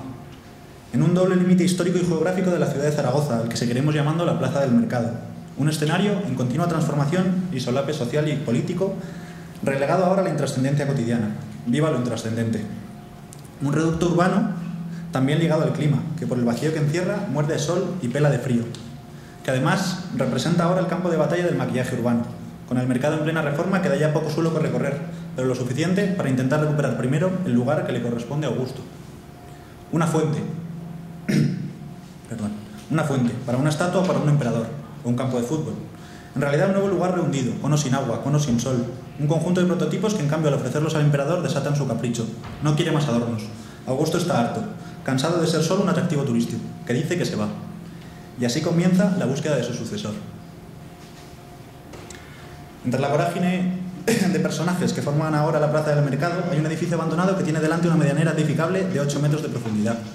Se estudia su potencialidad, se, analiza el edificio posterior abandonado y se da paso a la ficción. Y con ella aparece una pieza única, con la dimensión de una plaza, una mega escalera que recorre el edificio, un graderío. Ahí aparece el teatro, y con él la tramoya, y ella en la medianera. Primer ejercicio. Es necesario entender que en un entorno rendido al patrimonio histórico queda un edificio sin medallas, sin protecciones y sin cara, pero a la altura de un emperador. Un objeto de juego manipulable olvidado en medio. Perdón, en medio. Que, en el que vamos a descubrir el teatro que quizás siempre estuvo allí. Así que abrimos el edificio. Su cualidad más interesante, seis núcleos de comunicación dispuestos en las dos crujías laterales al patio, para lograr dibujar la gran sala de audición, tenemos que empezar a trabajar desde abajo, sustituyendo las plantas superiores, identificando las crujías y abriendo el patio, y recuperando así el valor del suelo. Una piscina en el sótano, una piscina en el sótano y sobre ella un plano inclinado astuto, que por fin sienta la escalera, o la plaza, que recoge y da calor. Delante aparece el escenario, para arriba y para abajo. Por último, recuperamos los seis núcleos, los seis agujeros en el forjado y dos más que nos permitirá incluir la medianera, introduciendo con ellos un nuevo tiempo para el edificio.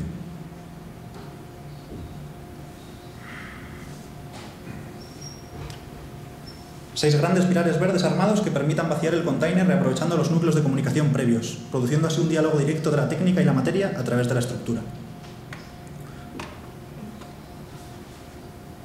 Una vez introducidos, atamos el conjunto a través de los anfiteatros para evitar el vuelco. Y solo queda tapar y cerrar.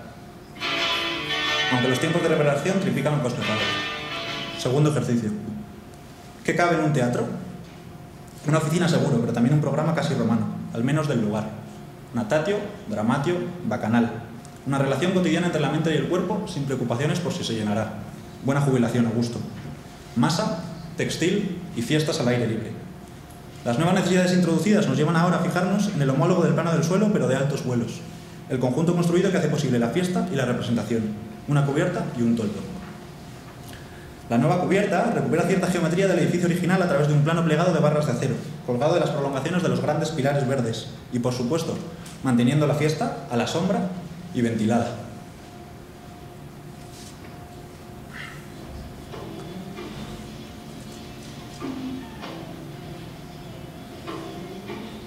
Bajo la cubierta, invadiendo el patio, aparece el segundo invento. Bueno, invento. Un gran toldo rojo que regule y oriente el sonido. Desplegado mediante carriles, desplegado mediante carriles y descolgado mediante poleas, estudiando además su forma óptima para repartir el sonido por toda la sala.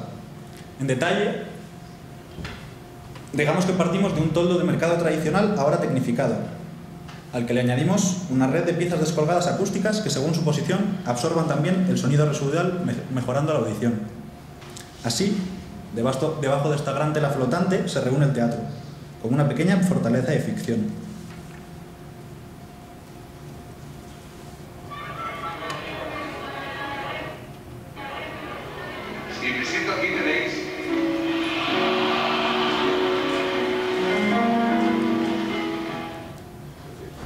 Por fin el último ejercicio, el del movimiento y la representación pura. Retomamos aquella medianera desnuda del principio para crear en ella una verdadera máquina de posibilidades, equipada e imprevisible. Nos gusta llamarla la puerta del garaje. La portentosa tramoya de la ficción que es en realidad el estado en el que los límites entre realidad y representación dejan de importar. Sobre el papel, una plataforma basculante sujeta por dos grandes pilares telescópicos. En la práctica, un ventanón de 18 por 13 a través del que empezar a mirar la plaza del mercado con otros ojos. Bueno, estos no son mis ojos, pero nos sirven para entender que la ventana, que es puerta, también se debe al lugar que pertenece, generando un sistema de protección despeinado pero de peso, que permita aislar el interior, así como controlar el comportamiento del sol y el sonido. Preludio y fuga al exterior.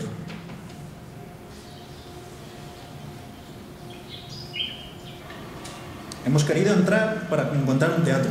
Ahora toca ver hasta dónde hemos sido capaces de llegar hacia afuera. Una relectura,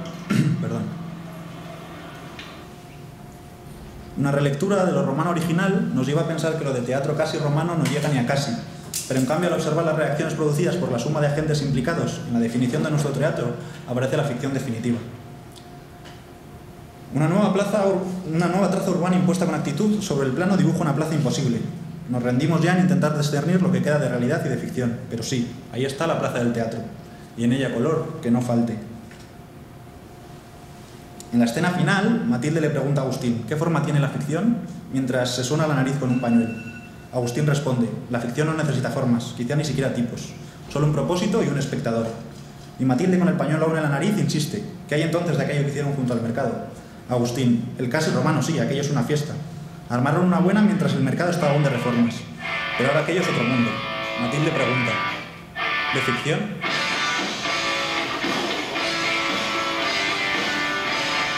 Muchas gracias.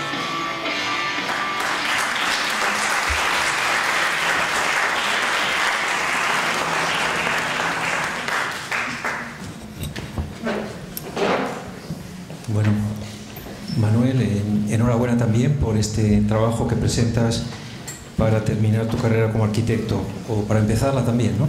Las dos cosas. Eh, para mí constituye una alegría y un, eh, un, pequeño honor comentar tu trabajo, porque mm, siendo un trabajo con el que no me identifico personalmente, eh, tengo que reconocer que me toca. Es decir, hay una, he apuntado una serie de adjetivos, voy a leerte la, esta suerte de adjetivos que podrían definir un poco cómo veo tu trabajo, lo veo desaliñado, lleno de frescura, con una absoluta falta de impostación, lo veo cortante, lo veo entrecortado, lo veo que es una demostración de la libertad de la arquitectura y por utilizar dos palabras que has utilizado tú, que me parecen bonitas, lo veo de despeinado y de peso. Eh, yo creo que hemos visto unos dibujos, unos planos, unas referencias históricas.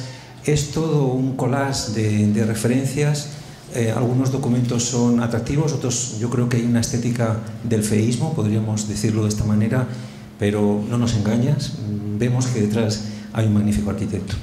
Eh, me parece que es muy bello esos dibujos del interior del teatro, donde de una manera muy poco sofisticada se quiere con unos elementos textiles eh, cambiar el aspecto de ese lugar o esa pared medianera que se convierte en un escenario que se abate, en una puerta, en fin, en un reconocimiento del lugar que el teatro tiene delante, ¿no? Y también que ofrece, como ya lo hemos visto en algunos teatros, ese más allá potencial que siempre tienen los auditorios o los teatros, que, es, que en el fondo podría haber algo más allá del escenario.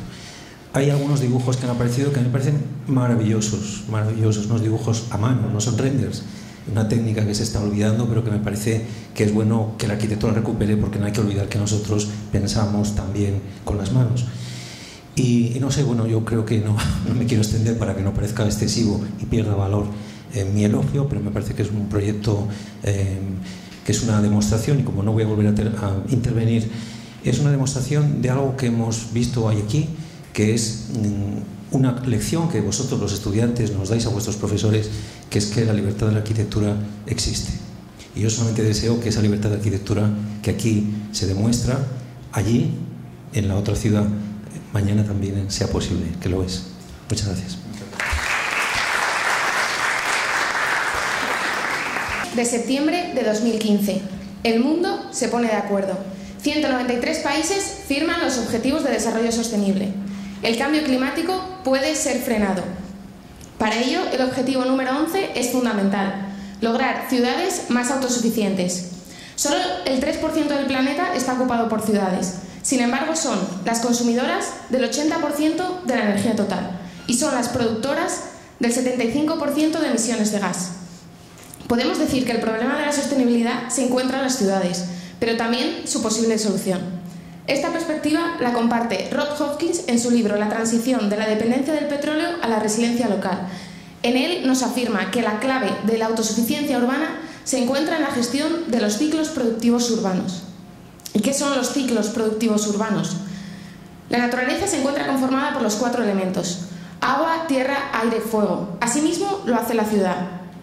Ciclo hidrológico, ciclo de tratamiento de residuos ciclo atmosférico y ciclo de abastecimiento energético. Actualmente estos ciclos se encuentran externalizados a la periferia.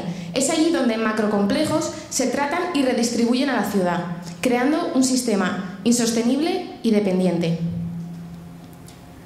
Por ello, debemos dejar atrás los núcleos urbanos basados en la externalización, para apostar por manzanas autosuficientes que reciclen sus propios recursos. Este es el concepto del proyecto. Stromboli, la manzana orbótica. El volcán estromboliano se caracteriza por continuas erupciones pero de baja violencia, lo que permite que sus ciclos sean aprovechados por los ciudadanos que se encuentran en su base. Así, las cenizas se convierten en agricultura, el basalto y la perlita en caminos y carreteras, y la geotermia en aprovechamiento termal y energético. Observando la sinergia del volcán Stromboli podemos imaginar una ciudad que también reutilice sus propios recursos, sustituyendo vegetación ornamental por vegetación productiva, instalando sistemas de recogida neumática de residuos, pavimentando con sistemas de recarga eléctrica y, por supuesto, diseñando metabolizadores urbanos capaces de, eh, controlar este nuevo urbanismo. La Operación Chamartín en marcha, un lugar sin instalaciones previas, donde este nuevo urbanismo tiene cabida. Por ello, se ha calculado el aumento demográfico que supondrá el nuevo Master Plan de Chamartín, y a partir de datos per cápita estadísticos se ha estimado la demanda de abastecimiento energético, de tratamiento de residuos, de potabilización y depuración de aguas. El metabolizador Stromboli será capaz de abastecer estas nuevas necesidades. Actualmente, Chamartín se encuentra abastecido por diversas infraestructuras situadas en la periferia de Madrid. Cada una de ellas ha sido estudiada programática y espacialmente, para ser introducidas en una única manzana en el nuevo barrio de Chamartín. Stromboli, el metabolizador, es el centro neurálgico del nuevo barrio. Arquitectónicamente se encuentra compuesto de un basamento de hormigón, sí, de hormigón y una sobreestructura metálica, compuesta de pilares triangulados y cerchas transversales, que configuran los volúmenes climatizados, junto con los forjados tensados. El conjunto posee ocho núcleos de comunicación y un recorrido horizontal continuo. Asimismo, los elementos productivos contienen sus propias estructuras autoportantes. En el basamento podemos encontrar los usos industriales, carga y descarga y aparcamiento ciudadano. A cota cero, un vestíbulo diáfano y una plaza pública. Y en las cotas superiores se superponen los distintos usos recreativos, en torno a una rampa helicoidal. En las secciones podemos observar la necesidad de una estructura que permita diversidad de programa y de espacios. El metabolizador Stromboli no solo reconfigura los ciclos productivos, sino que también quiere ser foco de actividad ciudadana para conseguir eh, una verdadera integración en el tejido urbano. Por eso cuenta con un programa productivo y un programa lúdico. Combinar ambos programas en un único elemento constituye el reto arquitectónico más importante. Por eso se ha comenzado estudiando los procesos convencionales de la industria, observando que se caracterizan por la horizontalidad y la extensión en el espacio, características propias del polígono de extrarradio. Sin embargo, la industria Stromboli debe caracterizarse por la verticalidad y la secuencia en altura, características propias de los núcleos urbanos. Por eso se han rediseñado tres estructuras principales. En primer lugar, se ha estudiado el proceso convencional de combustión de biomasa, entendiendo cada una de sus partes y mecanismos fundamentales, y siendo sustituidos en un único volumen estratificado en altura. Esta misma lógica ha seguido la depuración de aguas, estudiando sus procesos químicos y físicos, y siendo a su vez sustituidos por un volumen denso en altura. El transporte de mercancías ha dejado atrás las cintas transportadoras convencionales horizontales para apostar por máquinas de Foucault verticales, que permitirán el suministro a los elementos productivos. El programa lúdico se compone de distintos volúmenes cuyos usos se encuentran en plena relación con la actividad productiva del metabolizador. De esta manera encontramos el circuito termal, cuyas aguas son tratadas por las depuradoras estratificadas. La zona deportiva, cuyo sistema de generación distribuida aporta la producción energética. La sala de proyecciones audiovisuales, cuya envolvente permite su autoabastecimiento. El invernadero hidropónico utiliza la materia compostada procedente del, del proceso de tratamiento de residuos y una terraza mirador que sirve para el disfrute de los vecinos de Chamartín. En el desarrollo constructivo se ha buscado garantizar la mutabilidad de la estructura. Por ello, se ha llevado a la articulación de todos sus elementos constructivos para una puesta sencilla en obra. El conjunto pretende ofrecer una estética mecanicista, pero armoniosa. Los elementos sobre rasante metálicos, junto con los forjados de chapa colaborante, constituyen la base resistente del proyecto. La envolvente sur exterior se compone de paneles fotovoltaicos o bacén transparentes que ayudan al abastecimiento. Por último, la doble piel interior es la encargada de acondicionar de manera pasiva el edificio para conseguir espacios eficientes y pedagógicos que combinen la producción con la diversión. Este proyecto contaba con una serie de objetivos cuantitativos, que serían la carga probatoria de su eficacia, Gracias a la combustión de biomasa se obtiene el 39% del abastecimiento. El biogás producido en la gasificación de lodos deshidratados, el 25%. Los paneles fotovoltaicos de envolvente y cubierta, el 22%. Podemos decir que solo el metabolizador Stromboli es capaz de generar el 96,8% del abastecimiento del nuevo barrio de Chamartín. Con estos datos podemos decir, sí, los objetivos 2030 pueden ser logrados y sí, el cambio climático puede ser frenado. Muchas gracias.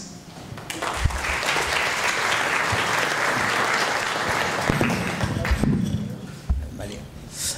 Eh, Belén, enhorabuena. Esta escuela eh, es una escuela de escuelas. Eh, hoy lo hemos visto aquí, que eh, como hay muchos y diversos eh, aproximaciones, muchas y diversas aproximaciones a la arquitectura. Hemos visto edificios de junta seca, hemos visto edificios con unos hormigones extraordinarios, hemos visto edificios de plástico, hemos visto edificios como el tuyo, ¿no? el complejo, yo le llamaría casi un complejo, esa, esa hibridación tan interesante entre lo productivo y lo lúdico. Yo creo que es un, un proyecto, uh, para felicitarte clarísimamente, es un proyecto sobresaliente. Eh, por ese, eh, quizás porque has tratado de unir dos cosas que normalmente eh, no se unen. Lo, lo, normal es que lo productivo esté fuera de la ciudad y eh, lo lúdico eh, pueda quedar más bien en el interior. Pero en este caso además es que es un, es un, es un productor de energía, como explicabas muy bien con esos números tan claros al final. Una exposición, por cierto, yo creo que brillante también.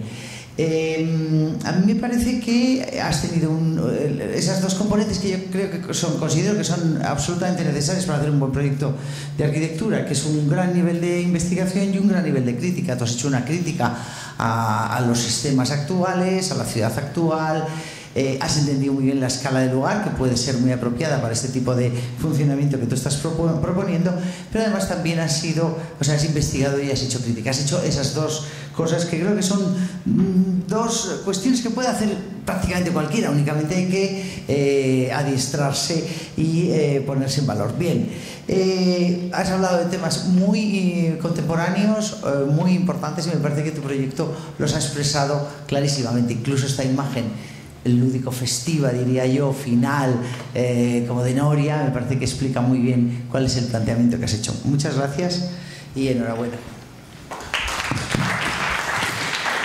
Buenos días, soy Juan Carlos Bragado y voy a presentar eh, Decumanos. Madrid es una ciudad trágica.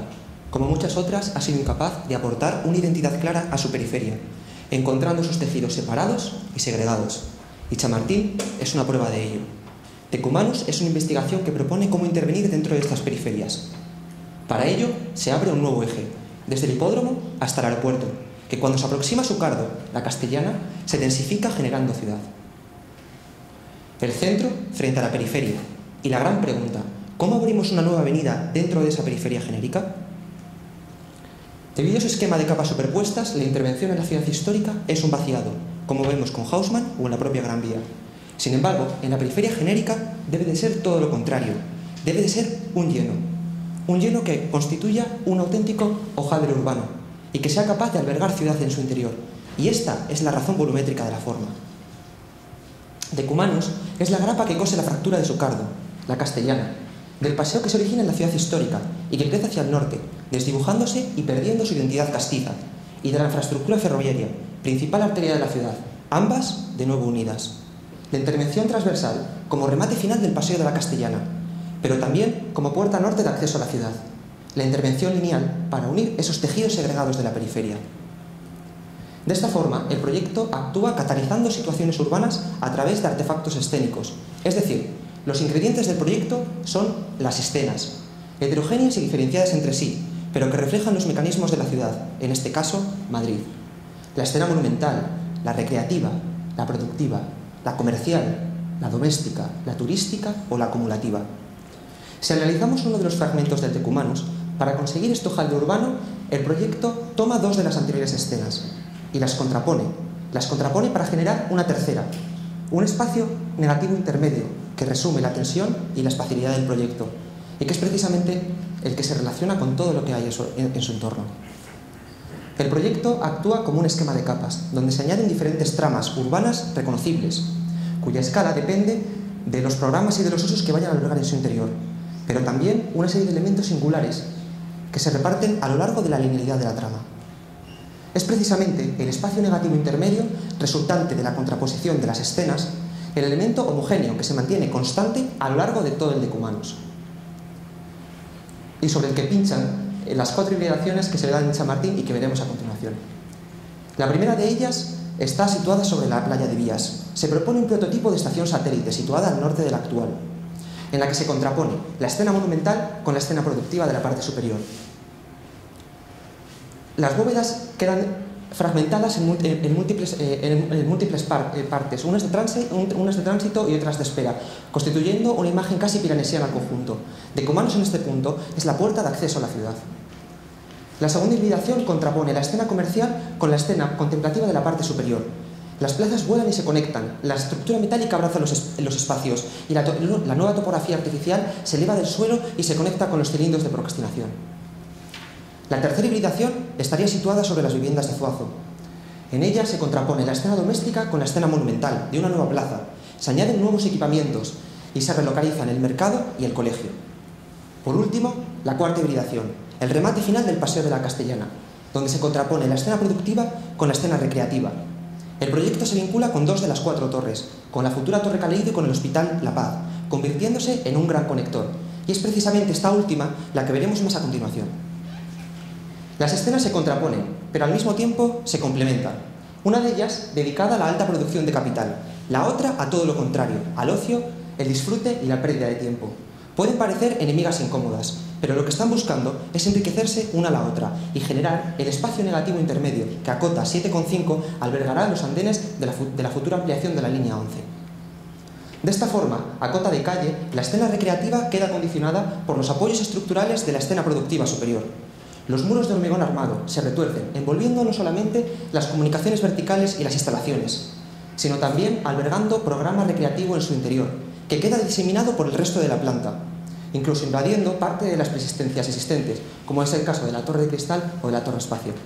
Dos grandes masas de, agua definen el espacio y se añaden dos elementos singulares en los laterales. Un auditorio que tiende un cordón umbilical al resto de la escena y el cilindro cultural sobre la castellana. Este cilindro cultural alberga en su interior un ecosistema importado desde la Sierra de Guadarrama y es el que está situado entre la intersección del Cardo y el de Cumanos. Precisamente es este último el que se ha elegido para realizar el cálculo estructural, donde seis grandes pilas de hormigón armado son las que sustentan la estructura metálica de las macetas del parque. Posteriormente, la estructura metálica superior se dispone de una manera radial, sustentando el anillo de rigidización superior, sobre el que cuelga el programa cultural fragmentado y la cubierta, que es capaz de filtrar la luz a través de sus capas. Sin embargo, en cota superior, la escena productiva queda organizada de una forma completamente contraria a la anterior, de una manera casi reticular, donde se van contraponiendo bandas de instalaciones con bandas programáticas. El proyecto, por tanto, quiere conseguir ese esquema de capas, y las necesidades estructurales de cada una de las escenas son diferentes. Esto queda solventado gracias a una primera, a una primera capa, que en una primera cota está formada por esos muros de hormigón, sobre los que se rigidizan plegándose y sobre los que se apoyan los, núcleos metálicos. Los núcleos de estructuras metálicas sobre los que cuelgan no solamente las instalaciones y, y las comunicaciones, sino también el propio programa. Por otro lado, el velo perimetral, el elemento homogéneo que se mantiene constante a lo largo de todo el alzado del decumanos. El programa productivo queda encapsulado dentro de estas carcasas metálicas, que se encuentran varadas como si fuesen naves entre los, entre los núcleos que se disponen a lo largo de la planta, dejando amplios eh, espacios en su interior, desde los 18 hasta los 24 metros de luz. El detalle y la materialidad son los que definen la imagen final del proyecto. Las envolventes traslúcidas y esmeriladas dejan entrever desde el interior imágenes transversales y visuales transversales y longitudinales al proyecto. Precisamente son estos detalles los que, los que crean luces y sombras, claros y oscuros, capaces de recrear esas atmósferas tan únicas del interior del Decumanos. Estos detalles no pertenecen única y exclusivamente a esta escena, sino que son extrapolaciones, extrapolaciones mediante las cuales creamos un lenguaje del proyecto y somos capaces de reconstruir el resto de las escenas de este. De esta forma se abre una nueva gran avenida, llena y condensada, un urbanismo y una estructura utópicos, un monumento, el monumento de lo genérico, cosiendo y mutando los tejidos agregados de la periferia. Bienvenidos a Decumanos. Gracias.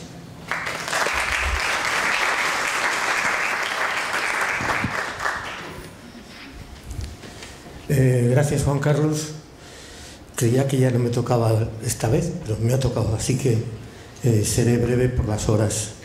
Eh, ya hemos comentado también, porque te, visto tu proyecto detenidamente, cuánto repites operaciones históricas que se han producido en Madrid. Es decir, Madrid primero crece del oeste hacia el este y eh, cuando llega al pasar el Paseo de la Castellana, eh, Castro y después Secundino Zuazo en el 29, pero Castro en 1870, inician un crecimiento norte-sur.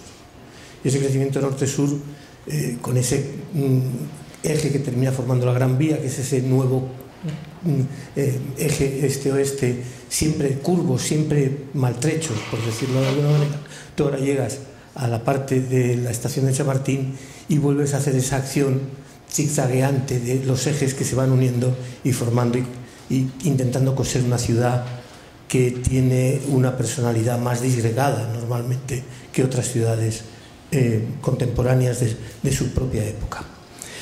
Dicho eso, que me parece bastante interesante, lo que yo quiero destacar es que la carpeta que has presentado es apabullante y la presentación mismo yo creo que deja entrever esa condición exhaustiva que el proyecto eh, quiere tener. Esa, desde el punto de vista de un máster que se llama habilitante porque te da el título de arquitecto, me parecería que cualquier registro que en el futuro vayas a poder tocar en la vida, ya tienes en tu fin de carrera como de la página 17 a la página 19 eh, tratado el tema y verificado, por lo tanto casi que eh, se produce un proyecto eh, que no hay que suponerte el valor, el valor está demostrado como cuando los militares han estado en el frente de batalla.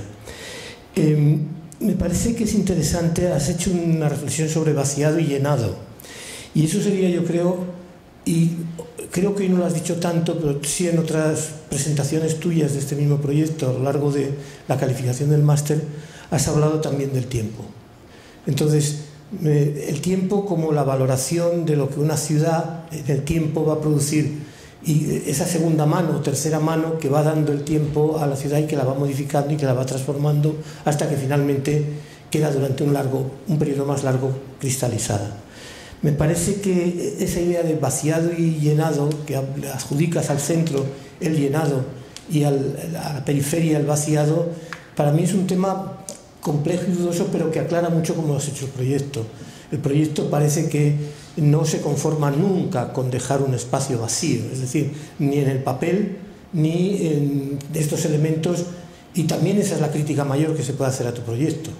Es decir, se necesitan tantos elementos para producir la escena que tú estás buscando o las operaciones que en el tiempo tendrían que tener como más, ser más imprevisibles, estar más latentes en el proyecto. O sea que me parece que ahí eh, hay una reflexión, yo creo que muy importante, está vinculada al tiempo, al vacío y al lleno. Muchas gracias y enhorabuena por un excelente trabajo.